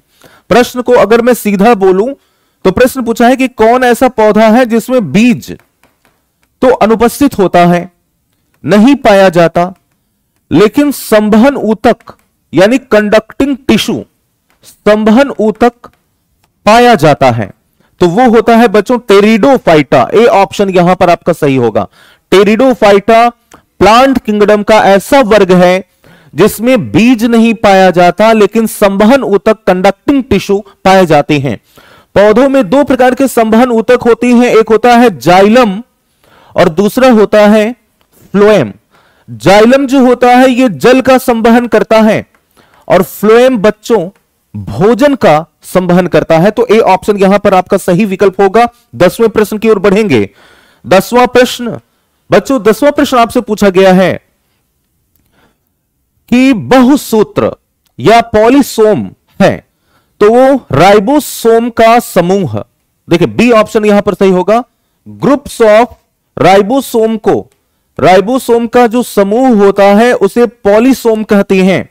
और इसका कार्य होता है प्रोटीन सिंथेसिस में हेल्प करना, प्रोटीन का निर्माण करना, ठीक है? कभी कभी आपसे पूछा जाता है कि राइबोसोम का निर्माण कौन करता है? तो राइबोसोम के निर्माण की बात अगर करें तो राइबोसोम के निर्माण जो होता है, वो न्यूक्लियोलस के द्वारा, यानी कि केंद्रिका के द्वारा होता है। केंद्रिका के द्वारा होता है, न्यूक्लियोलस के द्वारा होता है। बी ऑप्शन यहाँ पर सही विकल्प होगा। चलिए, नाइन्थ क्वेश्चन में आएँगे। नाइन्थ में आपसे पूछा गया है कि स्तनियों के दुग्ध में पाई जाने वाली प्रमुख सरकरा कौन सी होती है? यानी ऐसा कौन सा शुगर है जो मैमल्स के ब्लड में पाया जाता है? देखिए, सुक्रोज, ये तो गन्ने में पाया जाता है। इसलिए इसे केन सुगर के नाम से भी जाना जाता है। केन सुगर के नाम से जाना जाता है। ग्लूकोज जो होता है यह ऊर्जा का प्रमुख स्रोत होता है। ऊर्जा का प्रमुख स्रोत होता है। बच्चों, मैं एक पॉइंट और अभी बता दूँ। कि ये जो सुक्रोज होता है, इसे हम लोग टेबल सुगर भी बोलते हैं। इसे टेबल सुगर आपके पीसीएस में पूछा गया प्रश्न है कि निम्नलिखित में से कौन सा सुगर जिसे टेबल सुगर कहते हैं तो उसे सुक्रोज को कहा जाता है। लैक्टोज मिल्क सुगर होता है यह दूध में पाया जाता है और दूध का मीठापन इसी के कारण होता है। सी ऑप्शन आपका सही विकल्प हो जाएगा यहाँ पर। फ्रक्टोज को फ्रूट सुगर कहते हैं यह फलों में पाया जाता है। और यह सबसे मीठा पदार्थ, सबसे मीठा शुगर होता है। देखिए, मेरे मुँह से अभी एक ऐसा शब्द निकला जहाँ से मेरे मन में एक नया प्रश्न आपको बताने के लिए आ गया है। मैंने अभी बोला, सबसे मीठा पदार्थ। अगर आपसे पूछे कि सबसे मीठा पदार्थ कौन है तो सबसे मीठा पदार्थ की अगर बात करेंगे तो बच्चों, उत्तर होगा सैक्रिन। सैक्रिन जो होता है यह सबसे मीठा होता है। लेकिन सैक्रिन बच्चों सुगर फ्री होता है। इसमें सुगर नहीं पाया जाता। अगर आपसे पूछे कि सबसे मीठा पदार्थ कौन है तो सैक्रिन लेकिन यह सुगर फ्री है। लेकिन अगर आपसे पूछा जाए कि सबसे मीठा सुगर कौन है तो सबसे मीठा सुगर बच्चों फ्रक्टोज होता है। फ्रक्टोज और इसी को फ्रूट सुगर भी कहते हैं, फलों की सरकरा कहते हैं यह सबसे मीठा होता है। और शहद में शहद में ये प्रचुर मात्रा में पाया जाता है। तो सी ऑप्शन यहाँ पर आपका सही विकल्प होगा, ठीक है? चलिए नेक्स्ट अगले प्रश्न की ओर बढ़ेंगे। वेरी गुड किसी ने बोला artificial Thakur BMS very good artificial sugar के नाम से भी इसे जाना जाता है, ठीक है? चलिए, आठवें प्रश्न की ओर स्क्रीनशॉट लेते रहिएगा। आठवां प्रश्न। आठवां प्रश्न है कि एक ग्लूकोज के तथा एक गैलेक्टोज के अणुओं के ग्लाइकोसिडिक बंध द्वारा जुड़ने से किसका अणु बनता है? तो बच्चों, ये जो सुक्रोज होता है, इसके बारे में सुने। मैं केवल एक ही ऑप्शन पर बात नहीं करूँगा। मैं आपको सभी ऑप्शंस पर डिस्क्राइब करूँगा। ज़रूरी नहीं है कि आपसे एग्ज़ाम में इस, यही प्रश्न पूछ लेगा। प्रश्न तो कुछ भी पूछ सकता है। जैसे यहाँ पर ग्लूकोज दिया है। ग्लूकोज और गैलेक्टोज दिया है कभी कभी कुछ और भी पूछा जा सकता है। तो सुक्रोज जो होता है बच्चों, ये ग्लूकोज प्लस फ्रक्टोज से मिलकर के बना होता है, ग्लूकोज और फ्रक्टोज से। और इन दोनों के बीच में कौन सा बॉन्ड पाया जाता है? ग्लाइकोसिडिक बॉन्ड पाया जाता है। लैक्टोज जो होता है बच्चों, ये ग्लूकोज प्लस गैलेक्टोज से मिलकर के बना होता है। ग्लूकोज और गैलेक्टोज से मिलकर के बना होता है। माल्टोज बच्चों, ये ग्लूकोज प्लस ग्लूकोज से, यानी कि ग्लूकोज के दो मॉलिक्यूल से मिलकर के बना होता है। ठीक है? राइबोज जो होता है, ये डीएनए या आरएनए में पाया जाने वाला शुगर होता है। ये न्यूक्लियोटाइड्स में पाया जाता है। न्यूक्लियोटाइड्स में पाया जाता है। न्यूक्लियोटाइड में पाया जाता है और इसमें भी छह कार्बन होता है, इसलिए इसको हेक्सोज शुगर के नाम से जानते हैं। तो देखिए ग्लूकोज और गैलेक्टोज पूछा था। तो ग्लूकोज और गैलेक्टोज जो होता है, वो लैक्टोज में पाया जाता है। बी ऑप्शन हमारा यहाँ पर सही विकल्प होगा। वेरी गुड आप सभी लोग यहाँ पर सही विकल्प दे रहे हैं। बी ऑप्शन सही है। सातवें प्रश्न की ओर बढ़ेंगे। सातवां प्रश्न आपसे पूछा गया है। ब्रायोफाइट्स को वनस्पति जगत का एम्फीबिया कहा जाता है क्योंकि ये केवल भूमि पर उगती हैं, ये मेढकों के लिए मुख्य भोजन है, ये जल के अंदर उगती हैं। चौथा विकल्प है, ये जल के समीप नम भूमि में उगती हैं तथा इनके निषेचन के लिए जल आवश्यक होता है। तो कभी कभी कुछ कुछ प्रश्न ऐसे होते हैं कि अगर आप जिनका विकल्प पढ़ें तो विकल्प को पढ़ने के बाद ही लग जाता है कि यही वाला विकल्प सही होता है। कभी कभी ऐसा होता है ना कि कोई कोई प्रश्न ऐसा होता है जिसका ऑप्शन जो होता है वो कुछ ज़्यादा ही भौकाली होता है। और उस ऑप्शन को सुन करके आपको लगता होगा कि ये वाला ऑप्शन सही होना चाहिए। और सच में वो वाला ऑप्शन आपका सही भी होता है। लेकिन साइंस में कभी कभी ऐसे में लोग गच्चा भी खा जाते हैं। कभी कभी जो ऑप्शन देख करके लगता है कि ये बहुत ज़्यादा भौकाली है, ये सही होना चाहिए और वो गलत होता है। ठीक है? तो खैर यहाँ पर जो डी वाला ऑप्शन है, वो सही विकल्प है। जो ब्रायोफाइटा वर्ग का पौधा होता है, ये पाया तो नमी एवं छायादार स्थानों पर है, लेकिन इसमें निषेचन के लिए फर्टिलाइजेशन के लिए वाटर का होना ज़रूरी होता है। तो यहाँ पर डी ऑप्शन सही विकल्प हो जाएगा। ठीक है? चलिए, अगले प्रश्न की ओर है। छठवां प्रश्न आपसे पूछा गया है। छठवां प्रश्न बच्चों जोग्राफी से रिलेटेड प्रश्न है। प्रश्न है कि निक्स ओलंपिया पर्वत किस ग्रह पर स्थित है? मैं आप सभी से गुजारिश करूँगा कि आप सभी लोग ऐसे प्रश्नों का जवाब दें। बहुत ही सिंपल सिंपल प्रश्न ज्योग्राफी के करीब छह प्रश्नों को लेकर के मैं उपस्थित हुआ हूँ। आपको बताना है कि निक्स ओलंपिया पर्वत किस ग्रह पर स्थित है? पहला है बुद्ध दूसरा है शुक्र तीसरा है पृथ्वी चौथा है मंगल। तो जल्दी से कमेंट करिए छठवें के लिए डी ऑप्शन आया है। ठाकुर बीएमएस का डी ऑप्शन एग्जैक्टली यहाँ पर सही विकल्प हो जाएगा। मंगल निक्स ओलंपिया पर्वत मंगल ग्रह पर स्थित है। ठीक है? आइए पाँचवें नंबर पर। पांचवा नंबर आपसे पूछा गया है कि स्ट्रॉम्बोली किस पर, प्रकार का ज्वालामुखी है? तो बहुत फ़ेमस है। ये जो होता है बच्चों ये जागृत। ज्वालामुखी, सक्रिय ज्वालामुखी होता है। ठीक है? सक्रिय ज्वालामुखी होता है। ए ऑप्शन यहाँ पर सही विकल्प होगा, ठीक है? और इसे भूमध्य सागर का प्रकाश स्तंभ भी कहा जाता है, जो स्ट्रॉम्बोली होता है। इसे भूमध्य सागर का, भूमध्य सागर का प्रकाश स्तंभ भी कहा जाता है। इस टाइप के भी प्रश्न आपसे पूछे जा सकते हैं। प्रकाश स्तंभ भी कहा जाता है। तो ए ऑप्शन यहाँ पर आपका सही विकल्प हो जाएगा, ठीक है? जैसे आपसे कुछ और भी ज्वालामुखी के नाम पूछा जा सकता था। आपसे पूछ लेता कि फ्यूजियामा कैसा ज्वालामुखी है? क्राकाटोव, टोवा कैसा ज्वालामुखी है? तो ये सब बच्चों सुसुप्त ज्वालामुखी होते हैं। प्रसुप्त ज्वालामुखी होते हैं। जैसे फ्यूजियामा क्राकाटोवा। ये सब बच्चों सुसुप्त ज्वालामुखी होती हैं जो हमें मतलब अक्सर शांत रहते हैं, लेकिन कभी कभी इसमें से मतलब ज्वालामुखी का लावा का उद्भव होता है। ठीक है? चलिए नेक्स्ट चौथे प्रश्न की ओर बढ़ेंगे। चौथा प्रश्न आपसे पूछा गया है। प्रश्न है कि निम्नलिखित में से कौन सा दर्रा उत्तराखंड में स्थित है? कौन सा दर्रा है जो कि उत्तराखंड में स्थित है? तो बताइए, यहाँ पर आपके अकॉर्डिंग कौन सा जवाब सही होगा? ठीक है? पहला है नाथुला दर्रा, दूसरा है तुजू, तीसरा है नीति, चौथा है बुर्जिल। आपको यहाँ पर बताना है कि आपके अकॉर्डिंग यहाँ पर कौन सा जवाब सही होगा? कि कौन सा द, इसका पीडीएफ आपको मिल जाएगा आशुतोष त्रिवेदी। परेशान होने की ज़रूरत नहीं है पीडीएफ आप सभी को अवश्य मिल जाएगा ठीक है? आपसे पूछा कि निम्नलिखित में से कौन सा दर्रा उत्तराखंड में स्थित है? तो बच्चों ये जो नीति दर्रा है ये उत्तराखंड में स्थित है उत्तराखंड में स्थित है और ये उत्तराखंड को उत्तराखंड को तिब्बत से जोड़ने का कार्य करता है। तिब्बत से जोड़ता है, ठीक है?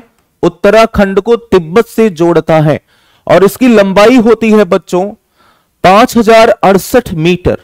इसकी लंबाई है five zero six eight metre. इसकी लंबाई है जो कि उत्तराखंड को तिब्बत से जोड़ने का कार्य करता है, ठीक है?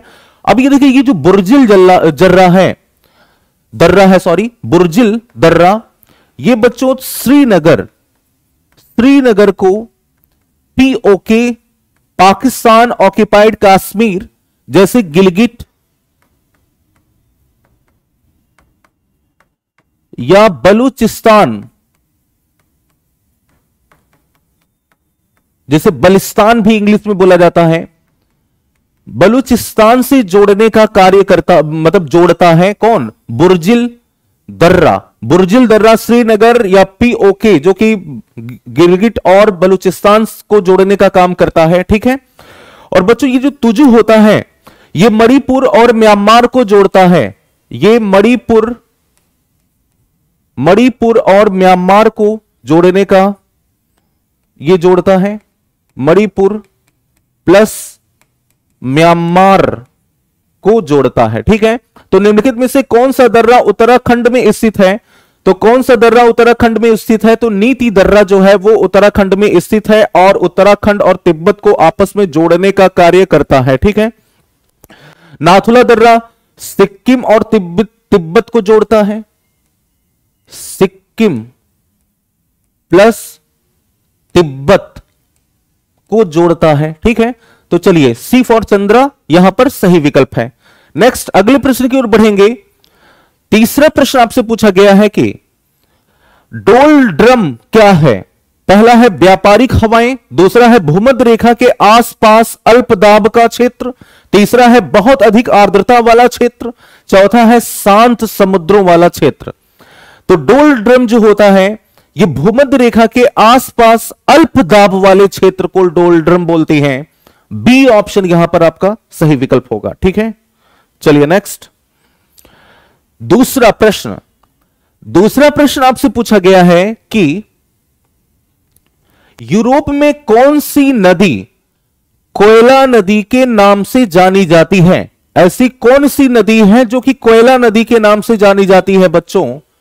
तो राइन नदी राइन नदी को कोयला नदी के नाम से जाना जाता है। कोयला नदी के नाम से जाना जाता है। बी ऑप्शन सही विकल्प होगा। ठीक है? पहला प्रश्न। पहला प्रश्न आपसे पूछा गया है कि आसवान बाँध निम्नलिखित में से किस नदी पर स्थित है? नील नदी पर। बिल्कुल बिना सोचे समझे ए ऑप्शन यहाँ पर आपका सही विकल्प होगा। तो बताइए बच्चों, यहाँ पर आपने कितने प्रश्न सही किए हैं?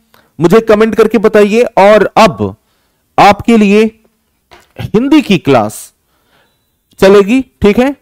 तो आप लोग परेशान ना हो, बस मैं एक मिनट में आ रहा हूँ पूछ करके कि हिंदी वाले सर कहाँ पर हैं।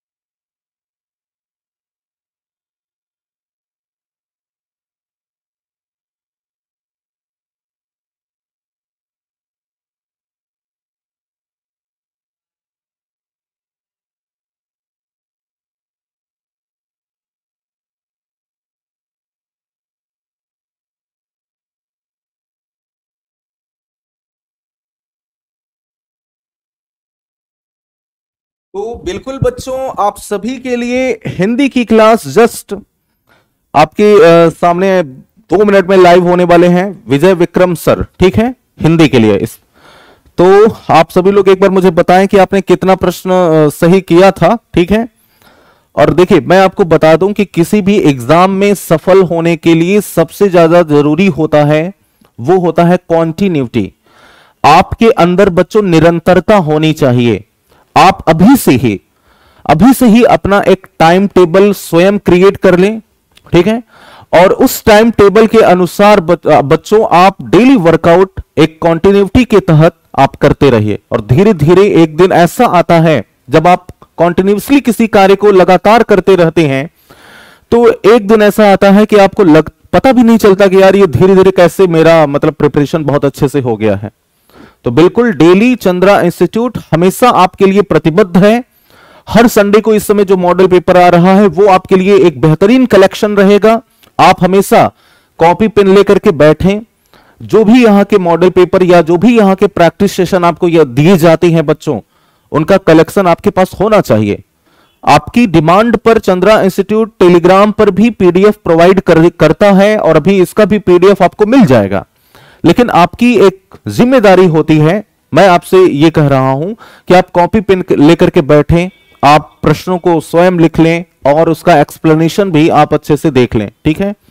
तो आप सभी को थैंक यू सो मच कहीं जाइएगा नहीं, बस हिंदी की क्लास आपके सामने आने वाली है। अनुज मिश्रा का केवल छह प्रश्न सही है और ज़्यादा मेहनत करने की ज़रूरत है, ठीक है? शशि यादव का दस सही है चौदह में से वेरी गुड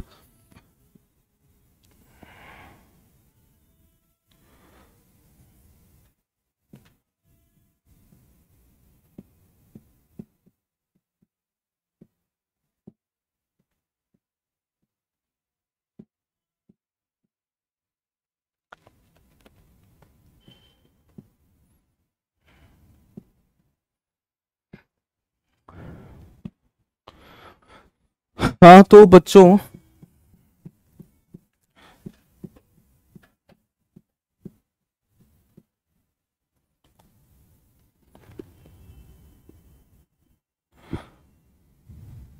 आप सभी लोग एक बार और क्लास को शेयर कर लें। विजय विक्रम सर जस्ट आपके लिए तुरंत लाइव होने वाले हैं।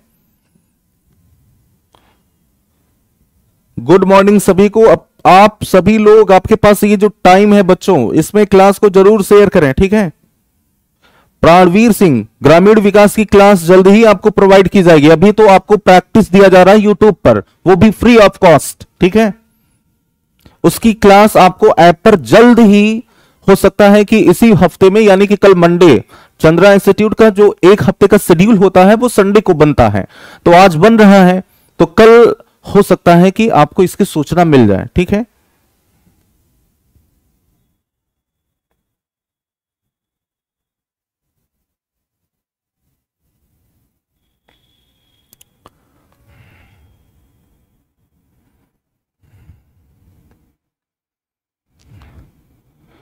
ऐप पर भी क्लास लिया जाएगा। मैंने क्या कहा कि अभी आज इसका टाइम टेबल जो पूरा वीकली शेड्यूल होता है, वो संडे को बनता है। तो जल्द ही मतलब इसके, इस पर जो है काम कर लिया जाएगा, ठीक है?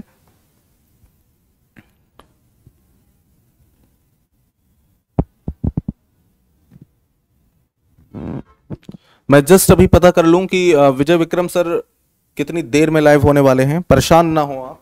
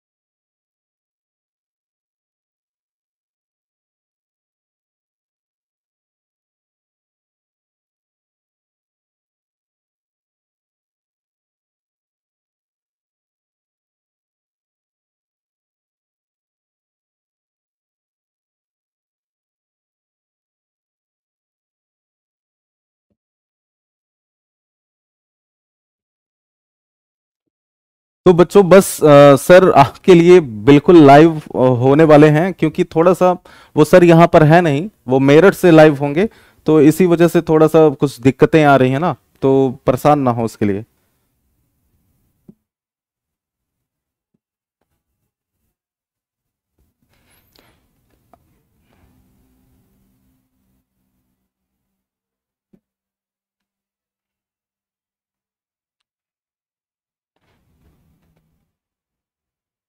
हो गया ना? नमस्कार दोस्तों। चंद्रा इंस्टीट्यूट की ऑनलाइन क्लास में मैं विजय विक्रम सिंह, आप सभी प्यारे मित्रों का बहुत बहुत स्वागत करता हूँ। आप सभी भाई बहनों को गुड मॉर्निंग, सुप्रभात। आप स्वस्थ रहें, प्रसन्न रहें, मुस्कुराते रहें, हँसते रहें और जीवन में आगे बढ़ते रहें।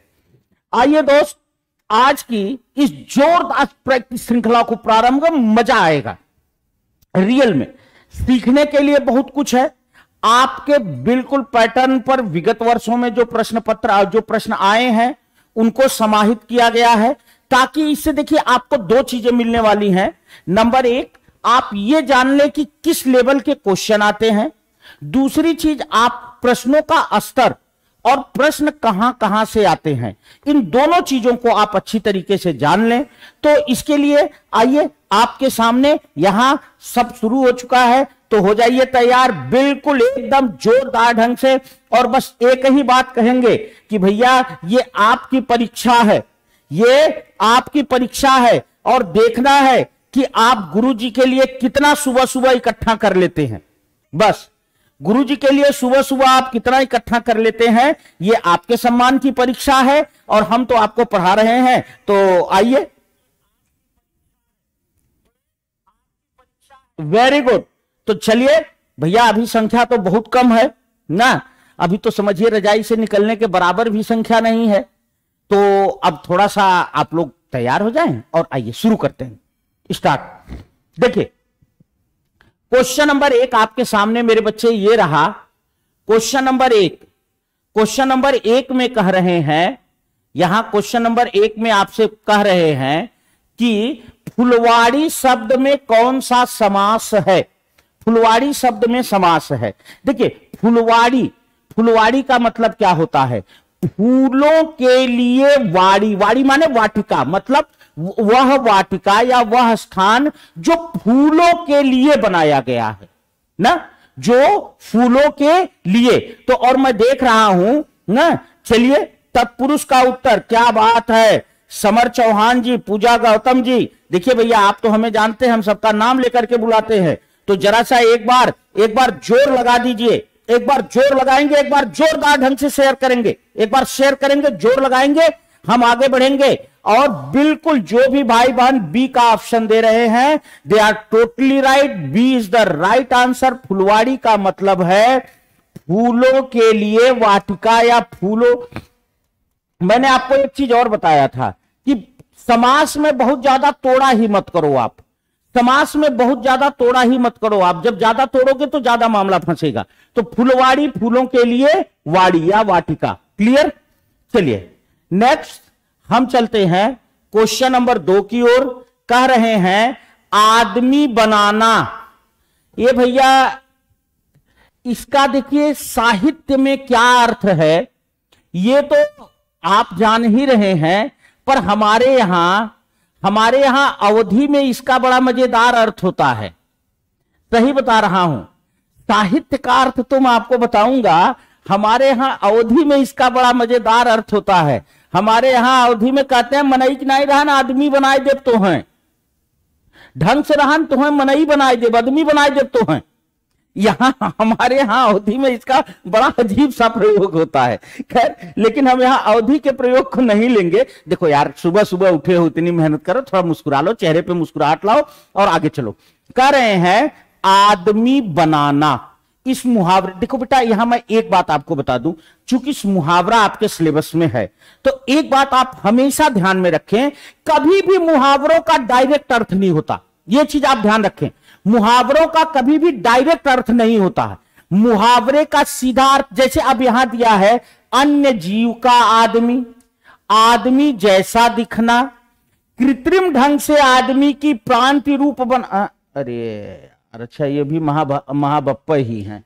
प्रतिरूप बनाना, ठीक है? तो मैंने आपसे क्या कहा? एक सिंपल सा फंडा आपको दिया और क्वेश्चन सॉल्व। मैंने कहा, मुहावरा हो या लोकोक्ति हो, कभी भी सीधा अर्थ नहीं होता। जब सीधा अर्थ नहीं होता तो अलग सबसे है अच्छा व्यवहार सीखना। लोग कहते नहीं, अरे आदमी हो जाओ यार। भगवान ने मानव तन दिया है, मानव हो जाओ। पर हमारे यहाँ अवधि में इसका बहुत अलग प्रयोग है। हमने आपको बता दिया। हमारे यहाँ अवधि में कहते हैं ढंग से रान मनाई बनाए दे। आदमी बना दे। वहाँ सीखना नहीं, वहाँ कूट देना है। लेकिन यहाँ जो साहित्यिक प्रयोग हम करते हैं, वो यही है। ठीक है? जो अवध वाले हैं, वो समझ रहे होंगे कि गुरुजी कहाँ से बता रहे हैं। क्वेश्चन नंबर तीन। अग्नि का पर्यायवाची शब्द है। अग्नि का पर्यायवाची शब्द है, उदक अर्गव पिनुग, पिगुन, अनल।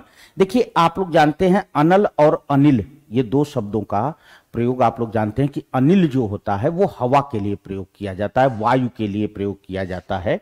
अनिल जो शब्द है, अनिल अनिल शब्द जो है, ये वायु के लिए प्रयोग किया जाता है और अनल शब्द जो है, वो आग के लिए प्रयोग किया जाता है। तो डी इज़ द उदक उदक माने मेढक होता है। जल भी होता है। उदक का मतलब जल भी होता है। ठीक है? क्लियर क्लियर फोर में डी हाँ अनल आग। क्या बात है? विजय कुमार जी, प्रगति मौर्य जी, शिखा सिंह जी, प्रशांत सिंह जी, अनिरुद्ध यादव जी, न? तो चलिए, हमें बस सब कुछ अच्छा लग रहा है।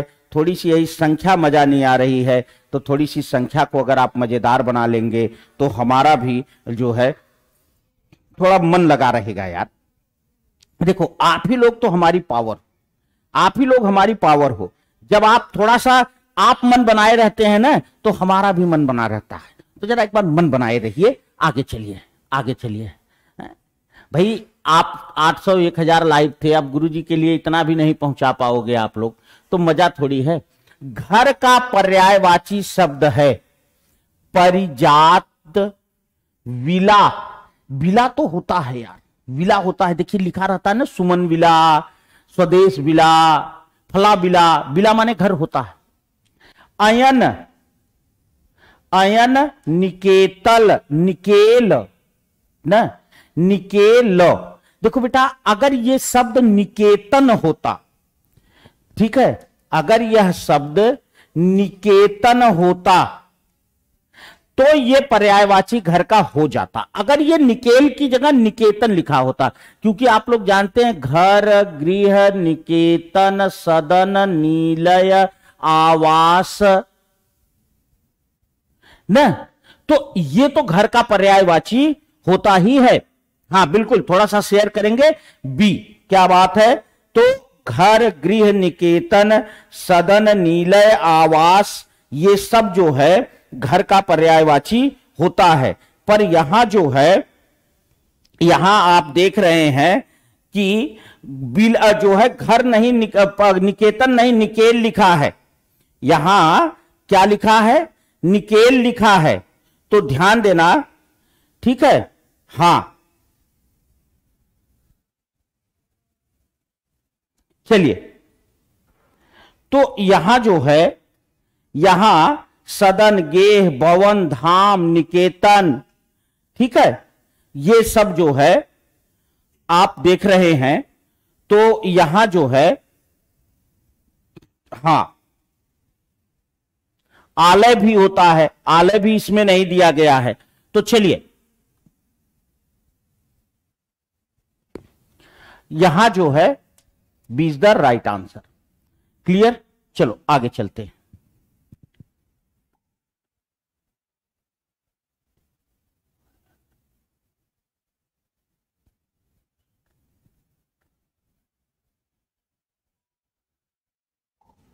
और उसमें एक शब्द और भी है।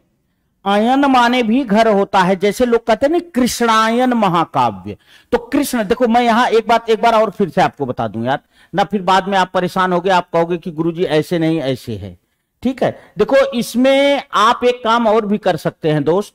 यहाँ आप जो है इस शब्द को भी ले सकते हैं। जैसे कहा, कहा जाता है ना कृष्णायन कृष्णायन। मतलब कृष्ण का आयन कृष्ण का घर। कृष्ण का घर जिसमें तो बल्कि आप एक काम करिए ये बिलासिला रहने ही दीजिए ये अंग्रेज़ी का यद्यप पर्यायवाची तो है। बट ये अंग्रेज़ी का शब्द है, इसलिए आप ज़्यादा सही है कि अयन कर लीजिए। जैसे कहते हैं कृष्णायन महाकाव्य। तो कृष्णायन मतलब कृष्ण का अयन, कृष्ण का घर। ठीक है? तो हिंदी में, चूँकि देखिए ये बात जब मैंने क्वेश्चन नीचे किया तो ध्यान में आया कि दोनों में ये चीज़ कंफ्यूज कराने के लिए दी गई थी, चूँकि विला जो है वो अंग्रेज़ी का शब्द क्लियर हो गया बेटे? चलो, आगे चलते हैं। प्रश्न नंबर पाँच। कह रहे हैं, शुद्ध वर्तनी का चयन कीजिए। अस्पृश्यत, अस्पृश्यता स्प्रश्यता स्पृश्यता। देखिए, ये अस्पृश्यता नहीं ता होगा, ये इज़ द राइट आंसर आपको पता है अस्पृश्यता अस्पृश्य शब्द में ता प्रत्यय लगा है, ठीक है? अस्पृश्यता, ये लिखा जाता है अस्पृश्य, और इसमें लगता है ता तो ये बन जाता है अस्पृश्यता अस्पृश्यता, ये। चलिए आगे आसान क्वेश्चन है। कौन सा शब्द त्रुटिपूर्ण है? कौन सा शब्द त्रुटिपूर्ण है? जड़ चेतन आकृष्ट टिकृष्ट अनंत शांत अनुग्रह आग्रह। अनुग्रह आग्रट। अब ये प्रश्न ही ऐसा है कि जो है अच्छे अच्छे को अच्छे अच्छे को जो है आ, परेशान कर दे। अच्छे अच्छे को जो है ये परेशान कर दे और आप एक चीज़ ध्यान रखना कि जड़ का जड़ चेतन, ये तो सही है। आकृष्ट निकृष्ट होता है, ठीक है? लेकिन ये आकृष्ट का निकृष्ट नहीं होता, उत्कृष्ट का निकृष्ट होता है। आकृष्ट का अनाकृष्ट होता है। अनाकृष्ट। तो ये तो ये भी गलत है। अनंत का शांत होता है, ये सही है। अनुग्रह का आग्रह हो सकता है। इसलिए B is the right answer आकृष्ट का अनाकृष्ट निकृष्ट, न? उत्कृष्ट का निकृष्ट होता है। ध्यान दीजिएगा बेटे। उत्कृष्ट शब्द जो होता है, उत्कृष्ट का निकृष्ट होता है। ठीक है? तो नि, अरे ये क्री ऐसे रहेगा यार। तो उत्कृष्ट का निकृष्ट होता है। क्लियर? ओके? चलिए।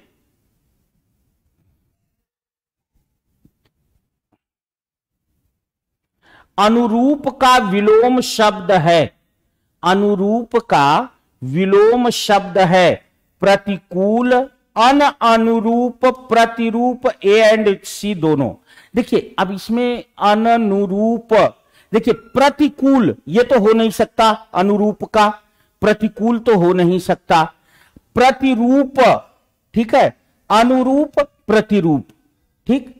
तो बट ए नहीं है तो ये वाला ऑप्शन नहीं होगा। C is the right answer clear चलो।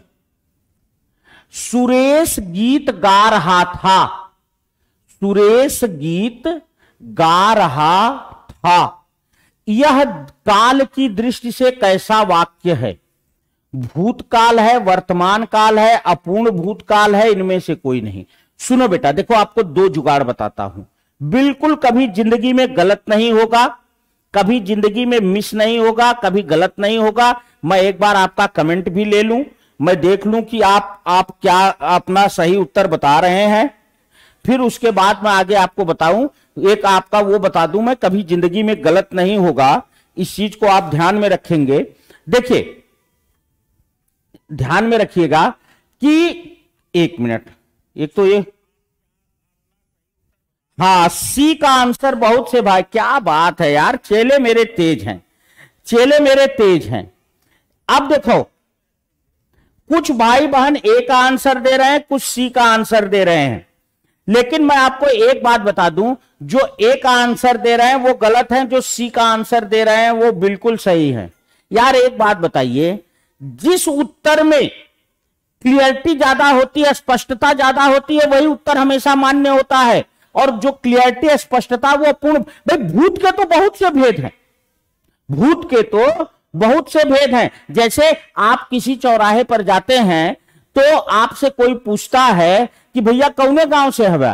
तो आप अपने गाँव का नाम बता देते हैं। तो गाँव के नाम से आपकी पहचान नहीं होती क्योंकि गाँव में तो बहुत से लोग रहते हैं। तब वो ज़रूर तुरंत पूछता अच्छा केकरे घरे कर अच्छा फलाने, फिर भी आपकी पहचान नहीं, क्योंकि उस घर में भी बहुत से लोग तो केकर लड़का है फलाने का लड़का अच्छा हो फलाने का लड़का। ओ, बड़ा छोट कर है राजू, तब तुम्हें देखे रहे। तो कहने का मतलब क्या है? कि वहाँ जो बात आ रही है, वो बिल्कुल स्पष्ट तो सबसे सही उत्तर है कि हम फला के लड़के हैं। वही काम यहाँ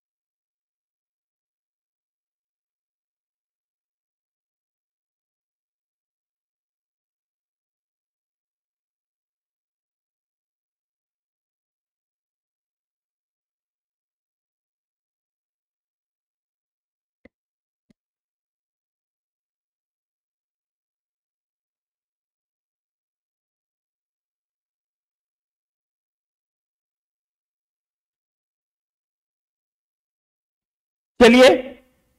दोस्तों ये एक्चुअली थोड़ी सी दिक्कत आई आवाज़ की। तो आ, दोस्तों बस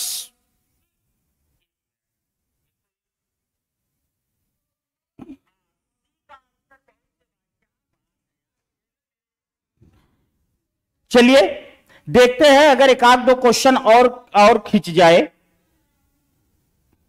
अगर एक आध दो क्वेश्चन और खींच जाए जल्दी जल्दी।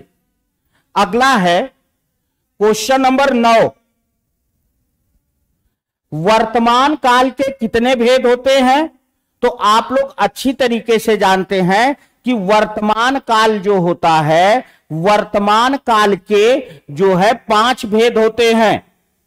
वर्तमान काल के इसमें दिया ही नहीं है, वर्तमान काल के चार को पाँच कर लो। सामान्य वर्तमान, ना? भूतकाल के, देखो, तरीका मैं बता दूँ, जो लोग मात्रा गिनना जानते हैं, वो देख लो बेटा, भूतकाल लिखा है, दो एक तीन, दो पाँच एक छह भूतकाल की छह मात्रा छह मात्रा माने छह भेद, और भूत से एक पहले वर्तमान आता है, जैसे बीस से एक पहले उन्नीस तुम आप कैसे उन्नीस लाते हो, बीस में से एक घटा देते हो तो भूत से एक पहले वर्तमान आता है तो six minus one equal two five पाँच भेद होते हैं, चलिए ठीक है? फटाफट आगे बढ़ेंगे। क्वेश्चन नंबर दस। क्वेश्चन नंबर दस। कह रहे हैं, वचन की दृष्टि से एक वचन है। वचन की दृष्टि से एक वचन है। कौन सा है? होठ। आप जानते हैं बहुवचन होता है। पुलिस दर्शन समाचार। पुलिस एक वचन है, होठ दर्शन समाचार बहुवचन है। क्वेश्चन नंबर ग्यारह। चाकू शब्द का बहुवचन होगा। चाकुएँ चाकुओं चाकू चाकू चाकू बहुवचन होता है। ठीक है? चाकुओं नहीं होता। चाकुओं कोई शब्द नहीं है। ठीक है? चाकू बहुत से चाकू, बहुत से चाकू इस तरह से लगाया जाए चाकुओं से सब्ज़ी कटती है? नहीं, गलत बात है। ना? लोगों ने चाकुओं से वार किया, नहीं, लोगों ने चाकू से वार किया। तो यहाँ जो है ऑलरेडी उसका बहुवचन चाकू ही होता है। क्वेश्चन नंबर बारह, यह मेरा घर है। गजब टाइप हुई है। यह मेरा घर है, पर नहीं घर है। में कारक है। कारक है संबंध कारक। क्यों? मेरा घर संबंध बन रहा है कि नहीं? मेरा घर। ठीक है? चलिए नेक्स्ट क्वेश्चन नंबर तेरह। वह अगले साल आएगा। वह अगले साल आएगा। इसमें कौन सा कारण है? अब देखिए, अगले साल आएगा। इसका मतलब कहीं ना कहीं अलगाव हो रहा है कि नहीं? भाई, अभी यहाँ है, अभी ये अगला साल। जितने भी दिन बाकी हैं तो कहीं ना कहीं एक अलगाव का बोध हो रहा है। और जब अलगाव हो रहा है तो अपादान कारक। नेक्स्ट निम्नलिखित में स्त्रीलिंग शब्द पहचानिए। स्त्रीलिंग शब्द पहचानिए। समुदाय बड़ा है गौरव बढ़ा, अश्विनी लगी, संसार बढ़ा, संसार जो भी है, ठीक है तो C is the right answer clear question number पंद्रह. हल्दी शब्द का तत्सम है। हल्दी शब्द का तत्सम है। मैं एक बार जरा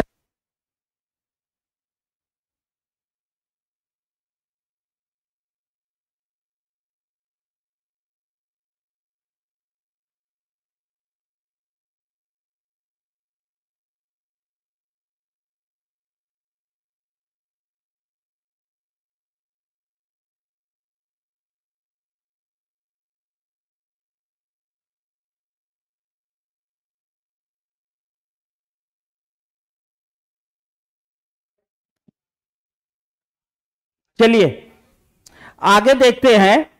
हल्दी शब्द का हरिद्रा होता है, ठीक है? हल्दी का हरिद्रा होता है। क्वेश्चन नंबर सोलह, केसट। केसट नहीं है बेटा, ये केवट है।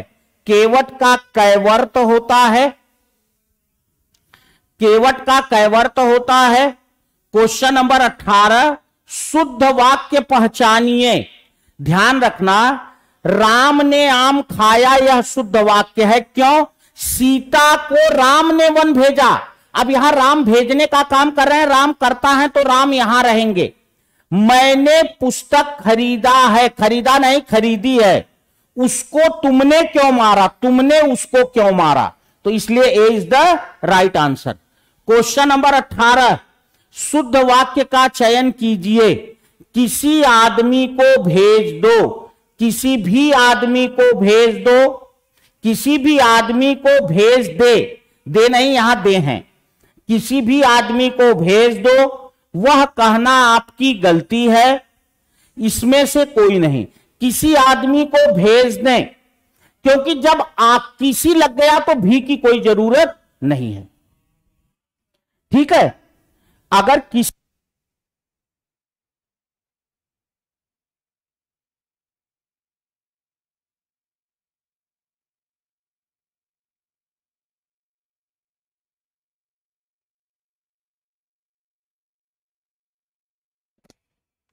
ठीक है? किसी लग गया तो भी की कोई ज़रूरत नहीं है। वह कहना आपकी गलती है, यह कहना आपकी गलती है। तो इज़ द राइट आंसर कम से कम हम 20 क्वेश्चन कवर करा दें थोड़ी सी दिक्कत आ रही है माइक में। अंबक शब्द पर्यायवाची है। अंबक आँख का पर्यायवाची होता है। किसका पर्यायवाची होता है बेटे? आँख का। क्वेश्चन नंबर 20 किस शब्द का अर्थ पतंग नहीं होता है? ध्यान रखना, पतंग माने पक्षी भी, नौका भी, सूर्य भी, तुंग नहीं होता है। तुंग का मतलब होता है चोटी, हिमाद्री तुंग।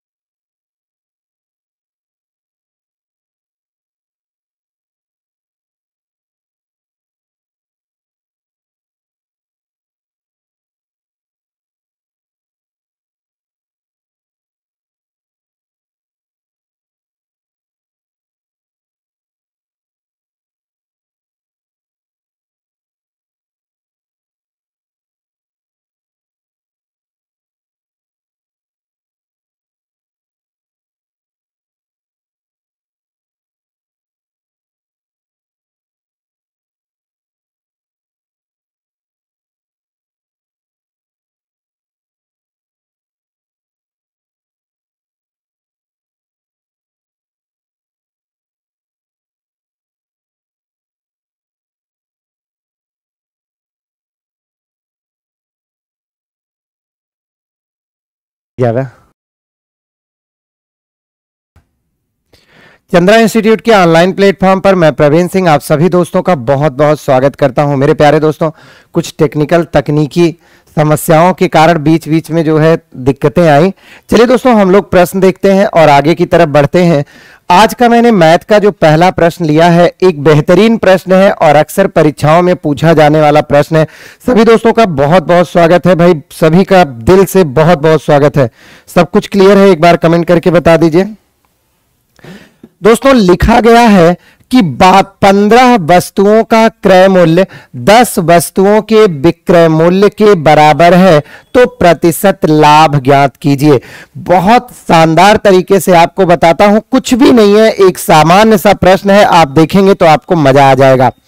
मेरे प्यारे दोस्तों एक्स वाई, जेड, ये सब मानकर हम अपना समय व्यर्थ नहीं करते। रीजन ये कि जब हम सब प्रश्नों को एक्स वाई से मानकर लगाते हैं तो उसके लिए टाइप और टाइम दोनों होना चाहिए। मेरे पास हर टाइप का क्वेश्चन होना चाहिए और टाइप होना चाहिए। तो दोस्तों देखिए, करना कुछ नहीं है। यहाँ सीधे आप बस इतना लिखिएगा कि पंद्रह वस्तु जो है उसे क्रय लिख लीजिएगा। पंद्रह क्रय बराबर है दस विक्रय के। देखिए प्यारे दोस्तों, जो पंद्रह क्रय है, वो बराबर है दस विक्रय के। तो क्रय अनुपात विक्रय क्या हो जाएगा? तो क्रय अनुपात जो विक्रय होगा मेरे प्यारे दोस्तों, हम इनकी तुलना करेंगे। जब तुलना करेंगे तो क्रय की मान यहाँ से देखिए, क्रय की वैल्यू 10 आ जाएगी, और मेरे प्यारे बच्चों, विक्रय की वैल्यू कितनी आ जाएगी? 15 यदि आप कोई वस्तु 15 में बेचते हैं और आपने 10 रुपए का खरीदा है तो निश्चित तौर पर आपको प्रॉफिट होगा। कितने रुपए का? पाँच रुपए का। प्यारे बच्चों, लाभ प्रतिशत बराबर हम सभी जानते हैं कि जितने का लाभ हुआ, बटे जितना उसकी कास्ट प्राइस थी और इनटू में हंड्रेड किया तो तुरंत मुझे मिल गया दस पचे पचास परसेंट ऑप्शन नंबर सी तो जिन लोगों ने इसका उत्तर 50 परसेंट दिया है उन सभी का बिल्कुल सही है बिल्कुल सही जवाब है भाई। बिल्कुल सही जवाब है सभी का एक बार पुनः बहुत बहुत स्वागत है। ठीक है? पचास परसेंट बहुत राम सेवक निषाद जी बहुत बढ़िया उत्तर है भाई आपका। शिखर सिंह जी बिपिन रावत जी प्रज्ञा गुप्ता जी आ, राम सेवक निषाद जी शशि यादव जी सभी का सभी का बेहतरीन जवाब। चलिए, आइए दोस्तों, अगले प्रश्न पर आपको लेकर चलते हैं। आज के लिए क्वेश्चन नंबर दो आपके स्क्रीन पर यह रहा। ध्यान से देखिएगा, एक वर्ग के अंतवृत्त और परिवृत्त के क्षेत्रफल का अनुपात क्या होगा? एक वर्ग के अंतवृत्त और परिवृत्त के क्षेत्रफल का अनुपात क्या होगा? करना कुछ नहीं है। आप एक वर्ग ले लीजिए। देखिए, एकदम बढ़िया से आपको बताते हैं, एक वर्ग हो गया। इसके अंतवृत्त मैंने बनाया तो अंतवृत्त ये हो गया। और एक वही वर्ग है, लेकिन उसके परिवृत्त बनाया गया है। अब भी आप समझ लेंगे तो कभी भूलेंगे नहीं। दोस्तों, यदि मैं वर्ग की भुजा ए मानूं तो निश्चित तौर पर इस वृत्त का व्यास भी ए होगा होगा कि नहीं, आप कमेंट करके बताओ। जब इस वर्ग की भुजा ए है तो यहाँ भी तो वही भुजा बराबर होगी, अर्थात इसका जो व्यास होगा वो ये होगा। और अगर वृत्त का व्यास ए है तो रेडियस त्रिज्या होगी ए बाई टू। और मेरे प्यारे दोस्तों, हम सभी लोग जानते हैं, आप भी जानते हैं, वृत्त का क्षेत्रफल होता है पाई आर का स्क्वायर। तो पाई तो पाई रहेगा, लेकिन आर की जगह दोस्तों ए बाई टू का स्क्वायर लिखेंगे। तो कितना आ गया? आपको पता है, मैं इधर लिख देता हूँ, ये हो गया ए स्क्वायर पाई बाई कितना आ गया मेरे प्यारे बच्चों? फोर क्लियर तो किसी वर्ग के जो अंत वृत्त का क्षेत्रफल हुआ, वो A square pi by four हो गया। अच्छा अगर मैं यहाँ वर्ग की भुजा ए लू तो दोस्तों, जो वर्ग का विकर्ण होगा, वही वृत्त का व्यास होगा। ध्यान से देखिए। कहने का मतलब वर्ग का विकर्ण ही वृत्त का क्या है? वृत्त का व्यास है। तो दोस्तों, वर्ग का विकर्ण होता है भुजा रूट टू। तो यही वृत्त का व्यास है। जब यह व्यास है तो त्रिज्या क्या हो जाएगी? इसका आधा। अब आप बताएँ, क्षेत्रफल क्या होगा? पाई रहेगा, आर का स्क्वायर। तो A root two by two का होल स्क्वायर। मेरे प्यारे बच्चों ये हो गया two A square pi by four. अब देखिए, मामला एकदम क्लियर है। सब कुछ आपके आँखों के सामने है। दोस्तों, ये देखिए, लिखा है कि अंत वृत्त का क्षेत्रफल है A square pi by four और बाह्य वृत्त का क्षेत्रफल है two A square pi by four. तो भैया फोर से फोर कट गया, इससे ये कट गया। तो कौन सा ऑप्शन निकल कर आया? ऑप्शन नंबर फ़र्स्ट, एक रेशियो दो। कहने का मतलब किसी वर्ग के अंतवृत्त और बाह्य वृत्त के क्षेत्रफल का जो आपको रेशियो मिलेगा, वो हमेशा होगा वन रेशियो टू, एक अनुपात दो। काफ़ी दोस्तों ने दिया है, एक तरफ़ से भाई लाजवाब उत्तर दिए हैं, नीरज जी ने दिया है, बहुत से लोगों ने एक तरफ़ से सही जवाब दिया है। बिल्कुल एक अनुपात दो ही होगा। एक अनुपात दो ही। बहुत बढ़िया। समर चौहान जी, प्रज्ञा गुप्ता जी, राम सेवक निषाद जी, शशि यादव जी, नीरज माथुर जी, ललित विश्वकर्मा जी, बहुत बढ़िया जवाब। दो अनुपात एक ही होगा। बट मेरे प्यारे दोस्तों, ध्यान रखिएगा कि अगर कभी बाह्य और अंत का पूछे तो बाह्य वृत्त हमेशा बड़ा होता है, अपेक्षाकृत अंत वृत्त के। तो दो अनुपात एक हो जाएगा। क्लियर है? थोड़ा सा शेयर कर लीजिए भाई।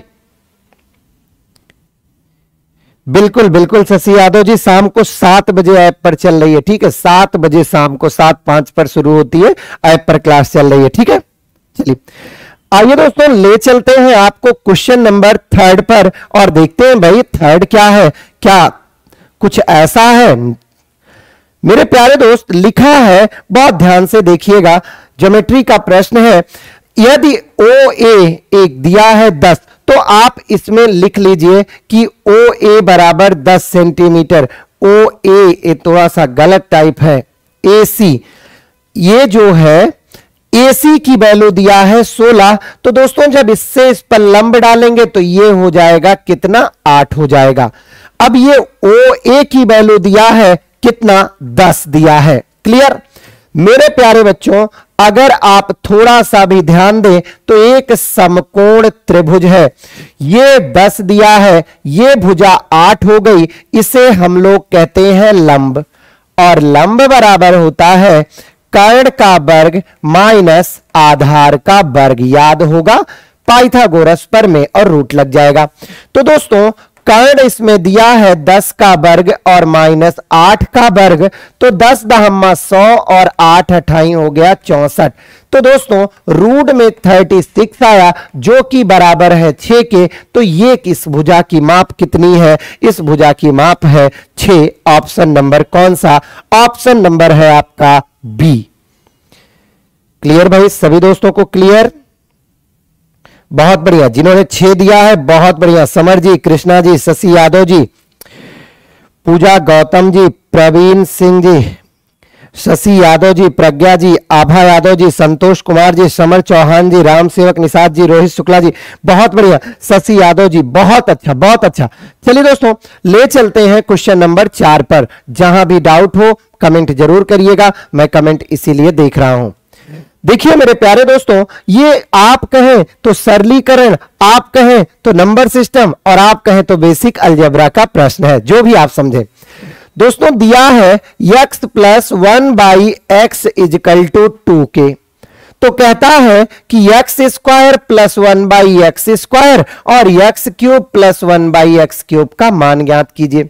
तो दोस्तों, हम लोग क्या करते हैं कि स्क्वायर के लिए दोनों पक्षों का वर्ग करते हैं और घन के लिए दोनों पक्षों का क्यूब करते हैं। मत करिए, एकदम आसान बताते हैं। अगर स्क्वायर चाहिए तो ये एन स्क्वायर माइनस टू हो जाता है। और अगर क्यूब चाहिए तो एन का क्यूब माइनस थ्री एन हो जाता है। जहाँ एन जो है, वो वैल्यू है कितना? दो। ठीक है? मेरे भाई, कहाँ से आया एन स्क्वायर माइनस दो? जहाँ दो लिखा है, वहाँ एन लिखकर दोनों पक्षों का वर्ग कर दीजिए तो मिलेगा N square minus two cube कर देंगे तो एन क्यूब माइनस क्या मिलेगा? थ्री एन दोस्तों तो यहाँ दो तो यहाँ देखो भैया, मैंने दो का स्क्वायर माइनस दो कर दिया। अभी एक और रूल बताता हूँ। यहाँ दो का क्यूब और माइनस तीन गुड़े दो कर दिया। तो मेरे प्यारे दोस्तों, ये दो आया और ये भी देखो भैया, दो दुनाई, चार दुनाई, आठ, दो ही आएगा। तो वैल्यू कितना आएगा? चार आएगा ऑप्शन नंबर बी एक और सरल तरीका, कौन सा तरीका? देखिए, दोस्तों इस समीकरण को संतुलित करने के लिए यक्ष का मान हमेशा एक आपको पुट करना पड़ेगा, एक रखना पड़ेगा। तो जब यहाँ एक रखे हैं तो यहाँ भी एक रखेंगे तो एक का स्क्वायर यहाँ भी एक का स्क्वायर तो इसकी वैल्यू दो आ गया। यहाँ एक का क्यूब और यहाँ भी एक का क्यूब इसकी भी वैल्यू दो आ गई। तो दो दुनाई कितना हो गया दोस्तों? चार हो गया। क्लियर भैया? बहुत बढ़िया, जिन्होंने चार उत्तर दिया है, बहुत बहुत बहुत भाई, बहुत बढ़िया। गोविंद राम जी, सुधीर कुशवाहा जी शुभम यादव जी, समर चौहान जी, मृत्युंजय कुमार जी, आभा यादव जी, बहुत बढ़िया भाई। राजेश चौरसिया जी, बिल्कुल सही उत्तर है। बबीता जी, बहुत बहुत स्वागत है भाई। प्रज्ञा गुप्ता जी, बिल्कुल सही उत्तर है। ठीक है तो एक रखकर भी कर सकते हैं। ठीक क्लियर चलिए, ले चलते हैं दोस्तों आज के क्वेश्चन नंबर नेक्स्ट पर, अर्थात क्वेश्चन नंबर पाँच पर। ध्यान देंगे कि पांचवा प्रश्न क्या कहता है। मेरे प्यारे दोस्तों, ये लिखा है A plus one by A यहाँ ए है। A plus one by A का होल स्क्वायर बराबर तीन है। तो दोस्तों A plus one by A बराबर क्या हो जाएगा? इस पर रूट लग जाएगा। लगेगा कि नहीं लगेगा? आप बताओ। लगेगा? अब क्यूब निकालने के लिए एन का क्यूब माइनस थ्री एन करते हैं हम लोग। क्लियर अभी बताया? तो देखो रूट तीन का आप क्यूब करिए और माइनस में तीन रूट कितना करिए? तीन करिए। देखिए क्या आता है। अब क्या? आप यहाँ जब हल करेंगे तो यहाँ से देखिए, ये आएगा थ्री रूट थ्री और ये भी तो भैया थ्री रूट थ्री है। तो three root three three root three किसके बराबर? ज़ीरो के। करेक्ट ऑप्शन कौन सा? सही है। ऑप्शन नंबर एक। ये मैं समझा दो? आइए।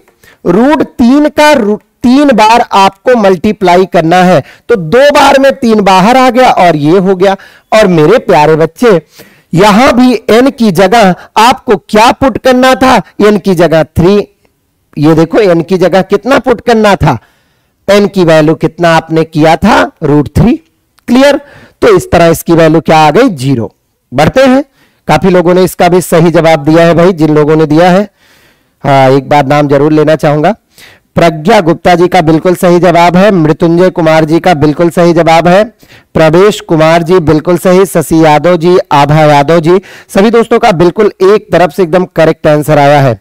एक आध लोगों का इधर उधर हुआ है तो उतना माना जाता है कि भाई जल्दबाजी में भी हो जाता है कभी कभार लेकिन ठीक है, बहुत बढ़िया उत्तर दे रहे हैं। चलिए, अगले पे चलते हैं।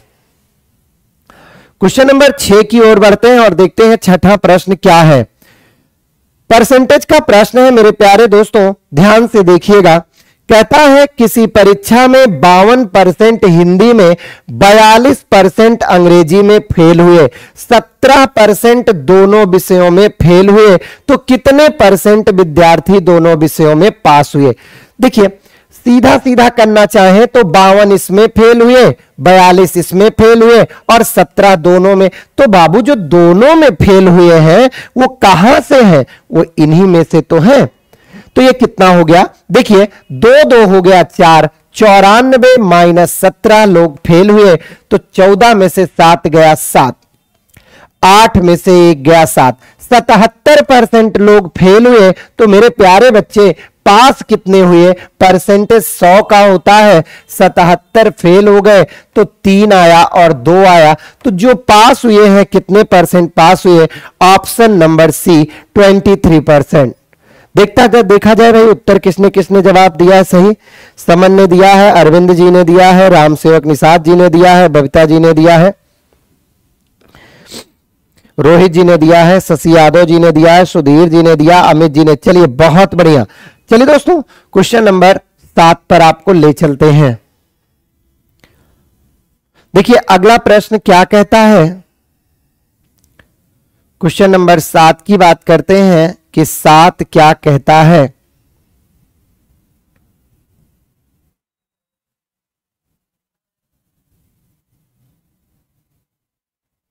लिखा है दो संख्याएँ, तीसरी संख्या से 25 प्रतिशत और 20 प्रतिशत कम है। ध्यान दीजिएगा। दो संख्याएँ तो मैंने पहली संख्या ले लिया, दूसरी संख्या ले लिया, और कौन सी संख्या ले लिया? तीसरी संख्या ले लिया। कहता है, दो संख्याएँ क्रमशः तीसरी संख्या से 25 और 20 कम है। तो आप इसे 100 मान लीजिए। क्रमशः का मतलब होता है क्रम से।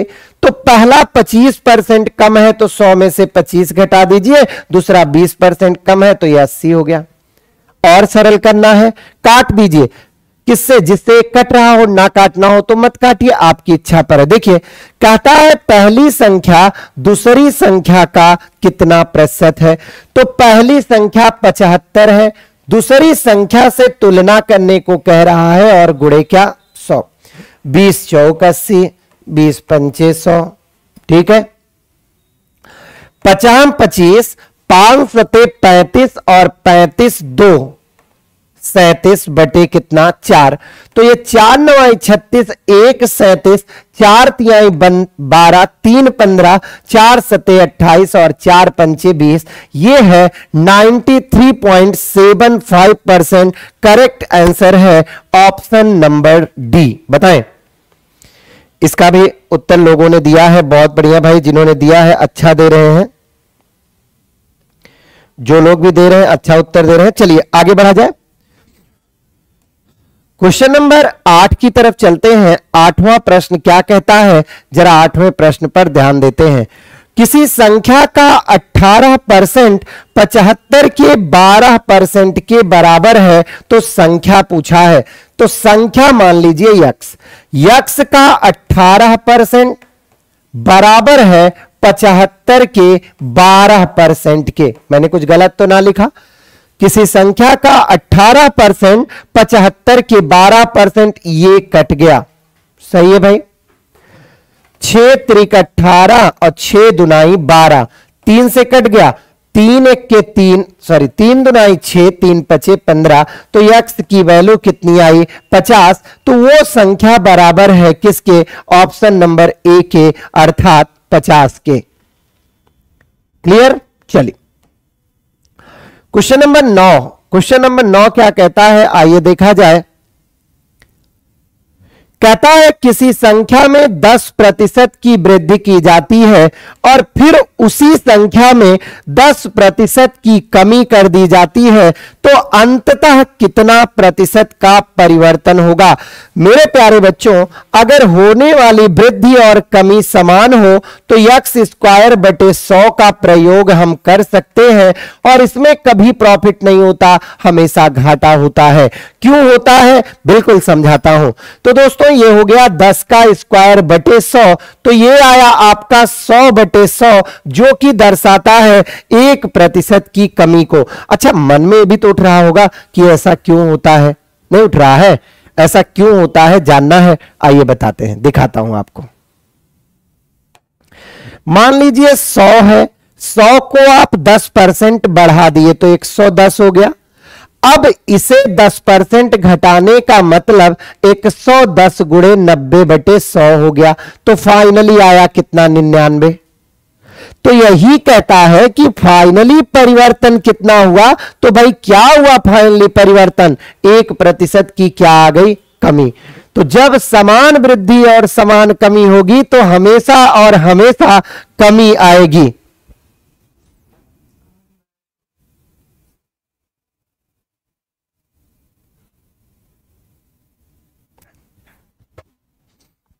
चलिए, आगे बढ़ा जाए, अगले प्रश्न की ओर चलते हैं मेरे प्यारे दोस्तों। अगला प्रश्न कहता है, किसी वस्तु के मूल्य में 25 प्रतिशत की कटौती की गई तो यह बताइए कि इसके आरंभिक मूल्य पर लाने के लिए कितने प्रतिशत की वृद्धि करनी होगी? दोस्त, एक वस्तु की कीमत है सौ रुपया, पच्चीस प्रतिशत घट गई तो हो गई कितना रुपया? पचहत्तर रुपया। मेरे प्यारे बच्चों, वो कहता है कि नए मूल्य पर वापस जाना है तो बताएँ कितने की वृद्धि होगी। तो आप कहेंगे कि सर, पचहत्तर से सौ पर चलना है। और जब सौ पर चलना है तो आपको वृद्धि पच्चीस की करनी पड़ेगी। पच्चीस की वृद्धि कितने में? पचहत्तर में। और परसेंट चाहिए तो गुड़े सौ। तो ये भैया आएगा तैतीस सही एक बटे कितना परसेंट? तीन परसेंट। करेक्ट आंसर है ऑप्शन नंबर सी। इन्हीं प्रश्नों को आप रटते हैं कि x बटे सौ धन x या x बटे सौ ऋण x करके हल करते तो रटना नहीं है। चीज़ों को समझना है। भाई, कितना रट के हम और आप एग्ज़ाम देने जाएँगे? आप अपने मन से बताइए। अगर हम सारे प्रश्नों को रटकर ही एग्ज़ाम देने जाएँगे तो पक्का ना भूलेगा कि नहीं भूलेगा? श्योर भूलेगा भाई। चलिए। बात करते हैं मेरे प्यारे दोस्तों क्वेश्चन नंबर 11 की। क्वेश्चन नंबर 11 में क्या कहता है? बहुत बढ़िया प्रश्न है, कई बार आया है, कई एग्ज़ाम में आया है। प्यारे बच्चों, कहता है कि एक बटे बारह, एक बटे पन, एक बटे बीस, एक बटे तीस एक बटे तीस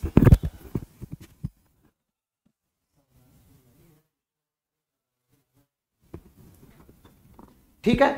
एक बटे बारह को मेरे प्यारे बच्चों, अगर हम इतना एलसीएम लेने लगे, तब तो भैया मेरा गड़बड़ हो जाएगा। और देखो, यहाँ नाइनटी होना चाहिए। हाँ एक वन नहीं है। चलिए तो हम करते क्या है कि इनका फैक्टर कर लेते हैं। एक बटे बारह का मतलब तीन गुड़े चार। एक बटे बीस का मतलब चार गुड़े पाँच। ऐसे तीस का मतलब पाँच गुड़े छ। बयालीस, छ गुड़े सात। छप्पन, सात गुड़े आठ। बहत्तर, आठ गुड़े नौ। और नब्बे मेरे प्यारे बच्चों, नौ गुड़े दस हो गया। अच्छा ऐसा किए क्यों? ऐसा मैंने किया क्यों भाई? ये भी तो हमें आपको जानना पड़ेगा ना कि आखिर ऐसा किया क्यों। ऐसा इसलिए किया कि इसको अगर मैं एक बटे तीन ऋण, एक बटे चार लिखूं तो वही आता है एक बटे बारह घटा के। देखिए, एक बटे तीन में से एक बटे चार घटाएँगे तो एलसीएम आएगा कितना? बारह। और चार में से तीन गया तो यही आएगा। जब ये आ रहा तो ये भी आएगा। फटाफट आप इनको तोड़ सकते हैं। ठीक है भाई, बताइएगा जहाँ दिक्कत होगी। एक बटे सात ऋण एक बटे आठ, धन एक बटे आठ, ऋण एक बटे नौ, धन एक बटे नौ, ऋण एक बटे दस। सारे मेरे दोस्त एक दूसरे से प्लस माइनस होने के नाते कट जाएँगे। तो बचेगा केवल एक बटे तीन पहला वाला और दूसरा वाला एक बटे दस। इनका एलसीएम हो गया तीस और दस में से ये देखिए, तीन दहाम तीस, दस और में से तीन गया तो सात बटे तीस आएगा, सात बटे तीस कहीं दिख ही नहीं रहा। मतलब सात बटे तीस, आप कोई भी एक ऑप्शन इसमें कर लीजिएगा कि सात बटे तीस आएगा, ठीक है? क्योंकि दस और तीन का एलसीएम कितना आएगा? तीस आता है, ठीक है? चलिए, नेक्स्ट प्रश्न पर ले चलते हैं। बिल्कुल आपने भी सही जवाब दिया है। आइए, अगले प्रश्न पर चलते हैं। ये देखिए एक बटे पैंतीस, एक बटे तिरसठ, इसको भी तोड़िए, बहुत अच्छे से होगा। पाँच सते पैंतीस, अगले में भी वही अंतर होगा। सात, नवा तिरसठ, अगले में भी नौ, ग्यारह का, अगले में भी ग्यारह, तेरह का, और अगले में भी भाई तेरह, दो कितना हो गया? पंद्रह हो गया। देखिए जितना अंतर पहले में बनेगा, उतना ही अंतर आगे भी जारी रहेगा, आगे भी बनेगा दोस्तों। अब सुनिए, अब एक बटे पाँच में से एक बटे सात घटाने पर एक बटे पैंतीस नहीं आता। देखिए, घटा के देखिए, अगर आ जाए तो मुझे बताइए, दो बटे पैंतीस आता है। तो क्या करते हैं? जितना इनके बीच का डिफरेंस है, उससे मल्टीप्लाई कर देते हैं। बाकी मेरे प्यारे दोस्तों, जैसे करते थे, वैसे करेंगे। बताते चलिएगा, कहीं दिक्कत हो कमेंट करिएगा, मैं अभी आपका कमेंट देख लेता हूँ। इसलिए कि भाई, अगर पढ़ रहे हैं तो सब कुछ आना चाहिए। देखिए, ये सारे एक दूसरे से कैंसिल हो गए। तो बचा कौन? एक बटे दो एक बटे पाँच और एक बटे पंद्रह बचता है। ठीक है भाई? आइए। अब अगर मैं इसे हल करूँ तो एक बटे एक बटे दो गुड़े ये देखो पाँच तिहाई पंद्रह, तीन में से एक गया, दो बटे पंद्रह हो गया। तो ये कट गया। तो बच्चों, आया कितना? One upon fifteen, option number B. तो जिन्होंने भी ऑप्शन नंबर बी दिया है उनका बिल्कुल सही है। एक बार नाम ज़रूर ले लेता हूँ भाई। किन लोगों ने दिया है उत्तर? लगातार दे रहे हैं। प्रवेश कुमार जी ने दिया है, सुधीर कुशवाहा जी ने दिया है, आरती देवी जी ने, प्रज्ञा गुप्ता जी ने, कृष्णा सिंह जी ने, समर चौहान जी ने, रिंकू शाहनी जी ने दिया है, और रिकुल जी ने दिया है, सुधीर जी ने दिया है, समर जी ने दिया है, ऋषि जी ने दिया है मिथिसेन गौतम जी ने दिया है, शुभम जी ने दिया है, सुधीर जी ने दिया है।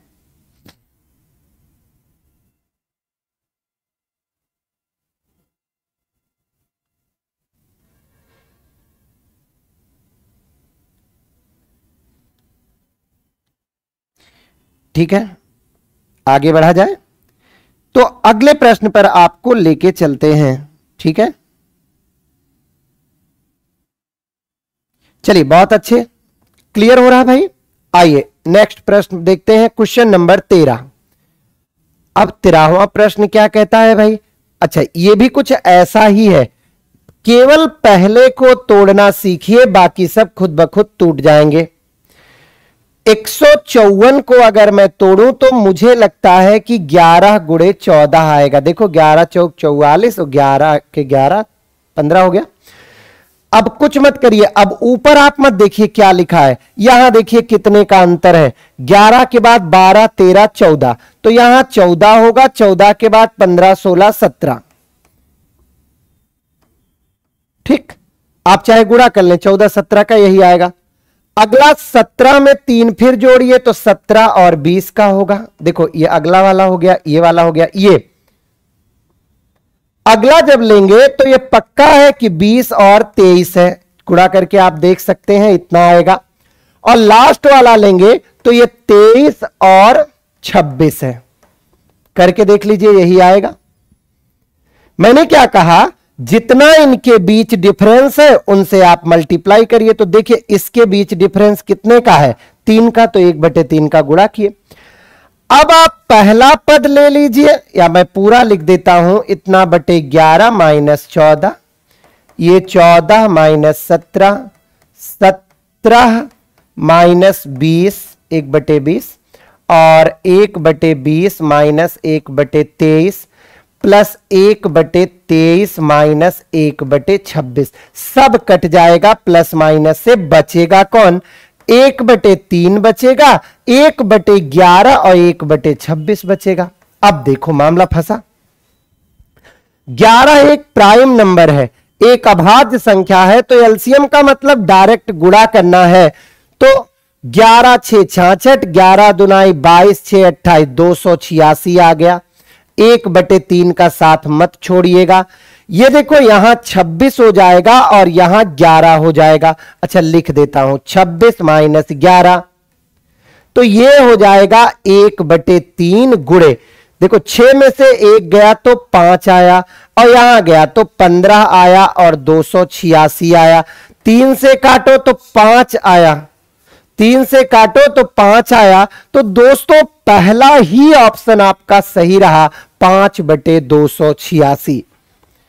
ऐसे प्रश्न आते हैं और आप भी जानते हैं, ये अच्छे प्रश्नों की श्रृंखला है और ठीक है?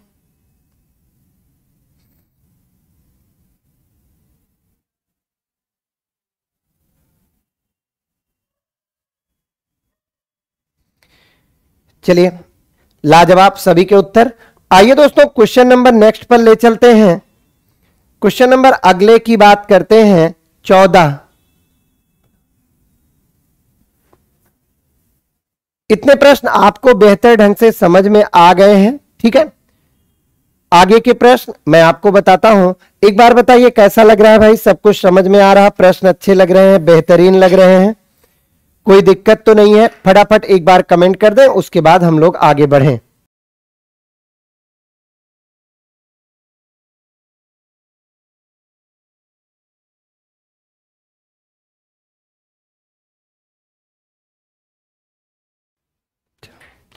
ठीक है दोस्तों? तो देखिए, इन प्रश्नों के उत्तर आपने दिए। चलिए, आपने लिखा, भाई ठीक ठाक समझ में आ रहा है, सब अच्छे प्रश्न है और बिल्कुल अच्छे प्रश्न है दोस्त। तो चलिए, आगे की तरफ़ हम लोग बढ़ते हैं। क्वेश्चन नंबर चौदह देखते हैं कि क्वेश्चन नंबर चौदह आखिर क्या कह रहा है? क्वेश्चन नंबर चौदह कैसे करेंगे? देखिए। आप माने तो ये नंबर सिस्टम का भी प्रश्न है, माने तो सरलीकरण का भी प्रश्न है। दोस्तों, जब एक ही अंक का कई बार प्रयोग हो, जैसे देखो यहाँ छे छे छे छे दिख रहा है ना, और यहाँ देखो पाँच पाँच पाँच पाँच दिख रहा है आपको तो ए बराबर मान लीजिए ज़ीरो पॉइंट सिक्स और बी बराबर मान लीजिए zero point zero five. Clear है? ये ज़ीरो पॉइंट ज़ीरो सिक्स है। ए का गुणा हो गया है कितनी बार? तीन बार हो गया। तो दोस्तों, ये हो गया ए का क्यूब। यहाँ भी तीन बार हो गया बी का तो बी का क्यूब। नीचे दो बार गुणा है तो ए स्क्वायर है, ये ए है, ये बी है तो ए बी है प्लस ये देखो दो बार गुणा है तो बी का स्क्वायर समझे इतनी चीज़ें? समझ गए? ए माइनस बी का होल क्यूब होता है A minus B A square plus A B plus B square और अपान में दोस्तों A square plus A B plus B square तो ये दोनों कट गए। फाइनली उत्तर मिला कि आपको ए में से बी को घटाना है। ए की वैल्यू है दोस्तों 0.06 और इसमें से 0.05 घटाना है। तो 0.0 कितना आ गया? वन आ गया। ये पॉइंट लगा है। ऑप्शन नंबर कौन सा करेक्ट है? ए ए फॉर एप्पल ठीक है? क्लियर कोई दिक्कत, कहीं कोई शंका तो एक बार कमेंट करके बताएँ। थोड़ा सा शेयर कर लीजिए। चलिए दोस्त, अगले प्रश्न पर आपको ले चलते हैं। समय लॉस नहीं करते क्वेश्चन नंबर पंद्रह पर। देखते हैं कि आखिर पंद्रह में क्या है। सब समझ में आ रहा होगा? चलिए, कहता है, सरल कीजिए। और दोस्तों, कुछ वैसा ही प्रश्न है, जैसा अभी जस्ट आपने इसके पीछे किया था। अब अगर मैं देखूँ तो यहाँ गौर से देखिए एक है और यहाँ ए भी एक है। तो ए बराबर मैं मानूँगा 0.41 और बी बराबर मानूँगा 0.69 क्लियर है? ये तीन बार आया तो ए का क्यूब और वो भी तीन बार आया तो बी का क्यूब। अब नीचे ध्यान दीजिए, ए का दो बार स्क्वायर हो गया माइनस ए है, बी है। ए है और बी है। यहाँ एक जगह ए होना चाहिए पॉइंट फोर वन होना चाहिए मेरे प्यारे बच्चों। ये पॉइंट फोर वन है और ये क्या है? तो मतलब ये ए बी हो गया और ये बी का स्क्वायर हो गया। तो ये आ गया ए प्लस बी भाई A cube plus B cube का सूत्र क्या होता है? होता है ए प्लस बी एक ब्रेकेट में और A square minus A B plus B square दूसरे ब्रेकेट में। भैया, जब भी ऐसे प्रश्न मिले ना तो केवल चिन्ह का ध्यान दीजिए। प्लस है तो प्लस हो जाता है, माइनस है तो माइनस। अब क्या? 0.41 ए में बी जोड़ना है और प्लस 0.69 तो नौ एक दस हो गया, छह चार दस एक ग्यारह हो गया तो कहने का मतलब कितना आया? ऑप्शन नंबर बी 1.1 देखते हैं भाई कितने लोगों ने उत्तर दिया था इसका सही जवाब। अरे क्या बात है, क्या बात है। ऋषि जी, अमित जी, राजू जी, आरती देवी जी रिकुल जी, राजू जी प्रज्ञा गुप्ता जी। चलिए बहुत बढ़िया बहुत बढ़िया आरती देवी जी, सभी ने एक तरफ़ से बढ़िया उत्तर दिया है। आइए, अगले प्रश्न पर आपको ले चलते हैं और देखते हैं भाई अगला प्रश्न आपसे क्या कहना चाहता है। दोस्तों, दिया है, यदि, ध्यान से सुनिएगा यह भी प्रश्न, दमदार प्रश्न है बार बार आता है। यदि यक्स बराबर इतना तो कुछ मत करिए, एक सिंपल बे है। एक बटे दो को ऐसे लिख लीजिए, एक बटे दो। तैयार? लिखा आपने, एक बटे दो हो गया। एक को काउंट करिए, कितनी बार आया? एक बार, दो बार, तीन बार, चार बार। तो यहाँ चार डाट बना लीजिए। देखिए, एक बटे दो तो एक दो लिख दिया। चार बार एक आया, चार डाट बनाइए, इनको जोड़ डालिए। दो और एक, किसके बराबर? तीन। तीन दो, किसके बराबर? पाँच। पाँच तीन, किसके बराबर? आठ। आठ पाँच, किसके बराबर? तेरह। तो यक्स की वैल्यू आ गई मेरे प्यारे बच्चों, तेरह बटे आठ। ठीक है? भाई, फिर से सुनिए, एक बटे दो का मतलब मैंने एक दो लिख दिया। चार बार एक था तो चार डाट लगाया सब प्लस है, जोड़ दिया। तो दो एक तीन तीन दो पाँच पाँच तीन आठ आठ और आठ पाँच तेरह। लास्ट वाला अंश होता है, उसके पहले वाला हर होता है तो यक्स की वैल्यू आ गई तेरह बटे आठ। दोस्तों, पूछा गया है, दो एक्स प्लस सात बटे चार का मान ज्ञात कीजिए। तो दो हो गया यक्स की वैल्यू है तेरह बटे आठ और प्लस सात बटे चार। तो बच्चों, दो चौक आठ हो गया। अब तो हर बराबर है। तेरह और सात, बीस हो गया। बीस बटे चार की वैल्यू आई बच्चों, कितने के बराबर? पाँच के बराबर तो ऑप्शन तो पाँच दिया ही होगा। बताएँ, समझ में आ गया? बिल्कुल, जिन्होंने पाँच, पचपन नहीं, पाँच। जिन्होंने पाँच उत्तर दिया है, बिल्कुल एक तरफ़ से बढ़िया जवाब है अच्छा जवाब है। चलिए तो इस तरह से इसको जल्दी में कर सकते हैं। नीचे से ऊपर ऊपर वाला प्रक्रिया आपको ना करनी पड़ेगी। हाँ तो परेशान मत होइएगा। देखिए, पाँच ऑप्शन में दिया है, ऑप्शन नंबर सी। चलिए, मेरे प्यारे बच्चों, अगले प्रश्न पर आपको ले चलते हैं। ये देखिए, प्यारे बच्चों, कहता है छह घंटियाँ, दो, चार, छह, आठ, दस, बारह सेकंड के अंतराल पर बजती हैं तो तीस मिनट में कितनी बार बजेंगी? कोई नहीं दोस्तों, जब एक साथ बजना है तो इनका एलसीएम ले लेंगे। किसका भाई? दो, चार छ आठ, दस, बारह। चलिए लीजिए फटाफट। दो एक के दो दुनाई, दो तिहाई दो चौक, दो पंचे, दो छे फिर से लीजिए। एक एक, तीन, दो दुनाई, चार, पाँच, दो तिहाई छ फिर लीजिए भाई तीन से। एक एक एक, दो पाँच, एक। अब गुणा कर लीजिए। तो देखिए, दो दुनाई चार, तिहाई बारह, दुनाई चौबीस, पंचे एक सौ बीस। हर एक सौ बीस सेकेंड में एक साथ बजेगी। और एक सौ बीस सेकेंड का मतलब मेरे दोस्त, दो मिनट में एक बार बजेगी। तो दो मिनट में जब एक बार बजेगी बच्चों तो 30 मिनट में कितनी बार? तो 30 बटे दो कर देंगे और एक बढ़ा देंगे। तो ये 15 हो गया और बजी कितनी बार? 16 बार। अब मन में आया कि भैया एक बढ़ाए का है मन में आया ना, एक बढ़ाए क्यों? तो मैं दिखाता हूँ। अगर मैं, ये क्लियर है ना? अब देखिए क्यों बढ़ाए थे वो समझाता हूँ। अगर मैं लिखूं एक, दो, तीन, चार, पाँच छ सात, आठ, ऐसे तीस मिनट तक तो जब आप भाग देते हैं तो यहाँ से शुरू करते हैं। दो एक के दो दो दुनाई चार, दो तिहाई छ। अरे मेरे प्यारे बच्चों, ज़ीरो पर भी तो एक बार बजी है, इसीलिए जितनी बार भाग जा रहा वो तो तीस बटे दो, और एक जो ज़ीरो वाला काउंट नहीं हुआ, उसे जोड़ देते हैं तो कितनी बार बचता है? सोलह बार। तो जिन दोस्तों ने सोलह दिया होगा, बिल्कुल सही जवाब है। देखिएगा ऑप्शन नंबर डी सही था। चलिए, अगले प्रश्न पर। थोड़ा प्रश्न बड़ा है तो छोटा कर देते हैं, जिससे ये दिखाई दे। अब भी नहीं दिखाई देगा। अच्छा भाई, चलिए हम पढ़ तो देते हैं, पढ़ देते हैं, फिर उसके बाद और छोटा बड़ा कर लेंगे। लिखा है मेरे प्यारे बच्चों, एक किसान के पास 945 गाय और 2475 भेड़ है। उनके लिए रेवड़ रेवड़ मतलब रहने की जगह बनाना चाहता है और वो कहता है कि अलग अलग रहे और रेवड़ में संख्या बराबर हो। किसी रेवड़ में पशुओं की संख्या रिपीट ना हो तो बताइए इस उद्देश्य से रेवड़ों की कुल संख्या। अच्छा कुछ नहीं, एकदम बिंदास तरीके से। बस इतना दिमाग में रखिएगा 945 और 2475 सुनिए। अधिकतम संख्या कहा तो आप 945 और 2475 का मासा ले लेंगे। भागफल विधि से कभी मत लिया करिए, बड़ा लंबा हो जाता है।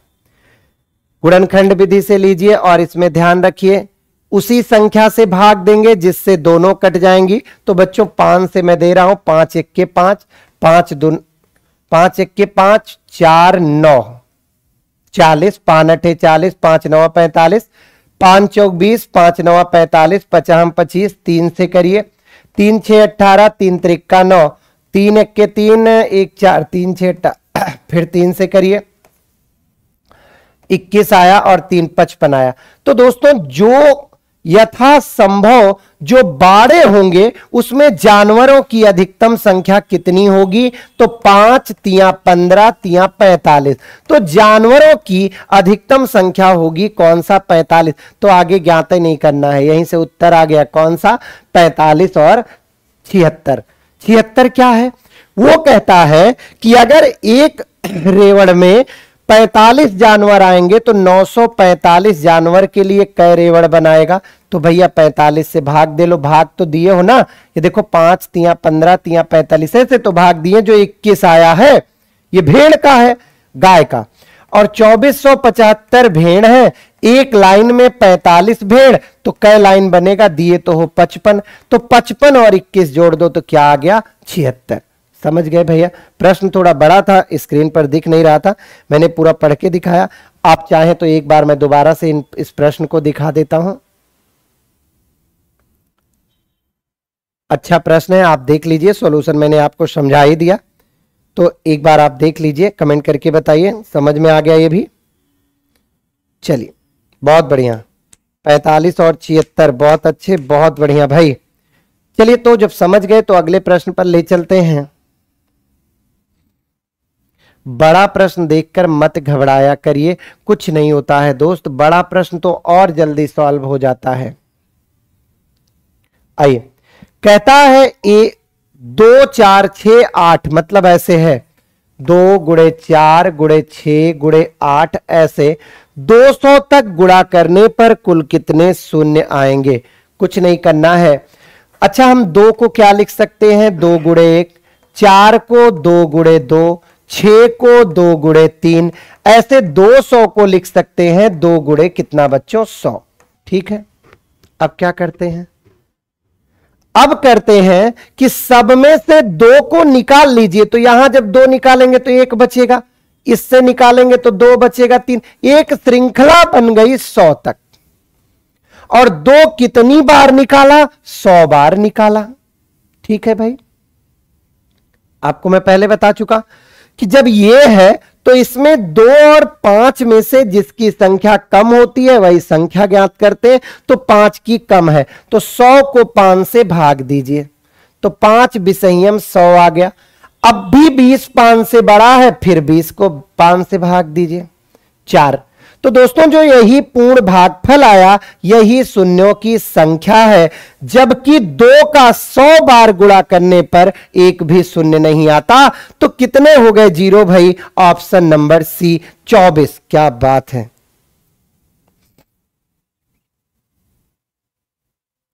नागेंद्र यादव जी पूछ रहे हैं, ऑफलाइन एडमिशन कैसे लें? ब्रांच में विज़िट करें भाई। ठीक है? चलिए आगे बढ़ते हैं मेरे प्यारे दोस्तों क्वेश्चन नंबर 20 पर। आइए देखते हैं, बीसवा प्रश्न क्या कहता है? कुछ भी नहीं, ये भी बेहतरीन प्रश्न है, यहाँ डी लिखा है, लेकिन ये आठ लिखा है, नीचे आपको दिख रहा होगा आठ। आठ रुपए में दस वस्तुएँ खरीदी और दस रुपए में आठ बेची तो लाभ बताइए। अरे भाई, क्रय मूल्य निकाल लीजिए, ध्यान से सुनिएगा। दस वस्तुएँ आठ रुपए में। तो एक वस्तु कितना हो गया? आठ बटे दस रुपए की। और उल्टा इसका बेचा है दस बटे आठ रुपए की। वस्तु बराबर करने के लिए हर का एलसीएम ले लीजिए तो एलसीएम चालीस आएगा।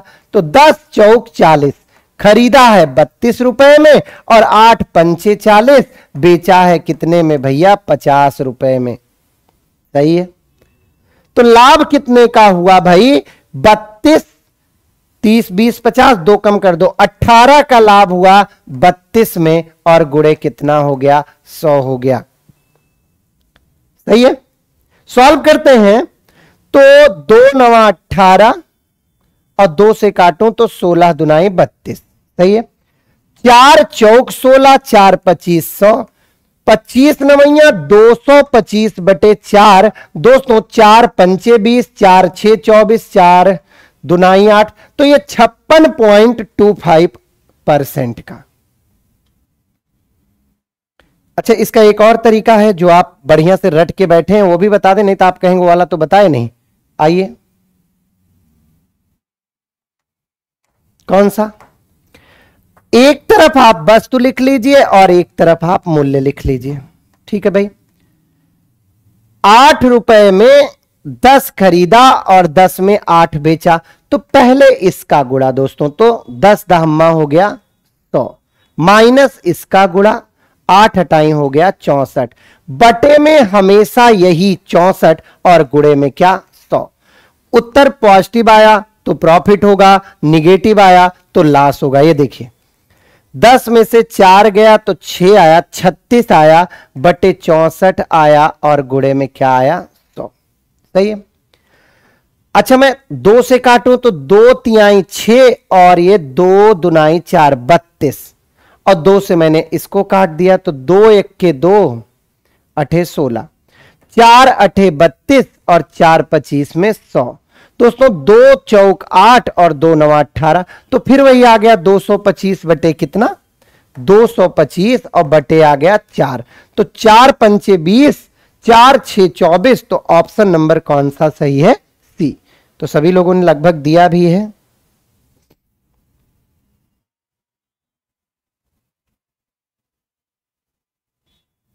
ठीक है? तो जिससे भी करना चाहे, कर सकते हैं। चलिए भाई, अगले प्रश्न पर आपको ले चलते हैं इक्कीसवें पर। तो मेरे प्यारे दोस्तों इतना ही प्रश्न हो पाया। तो एक बार कमेंट करके ज़रूर बताइए कि आपको क्लास कैसी लगी, मज़ा आया कि नहीं आया। तो दोस्तों, आपको मैं बता दूँ कि एडमिशन प्रोसेस शुरू हो चुका है।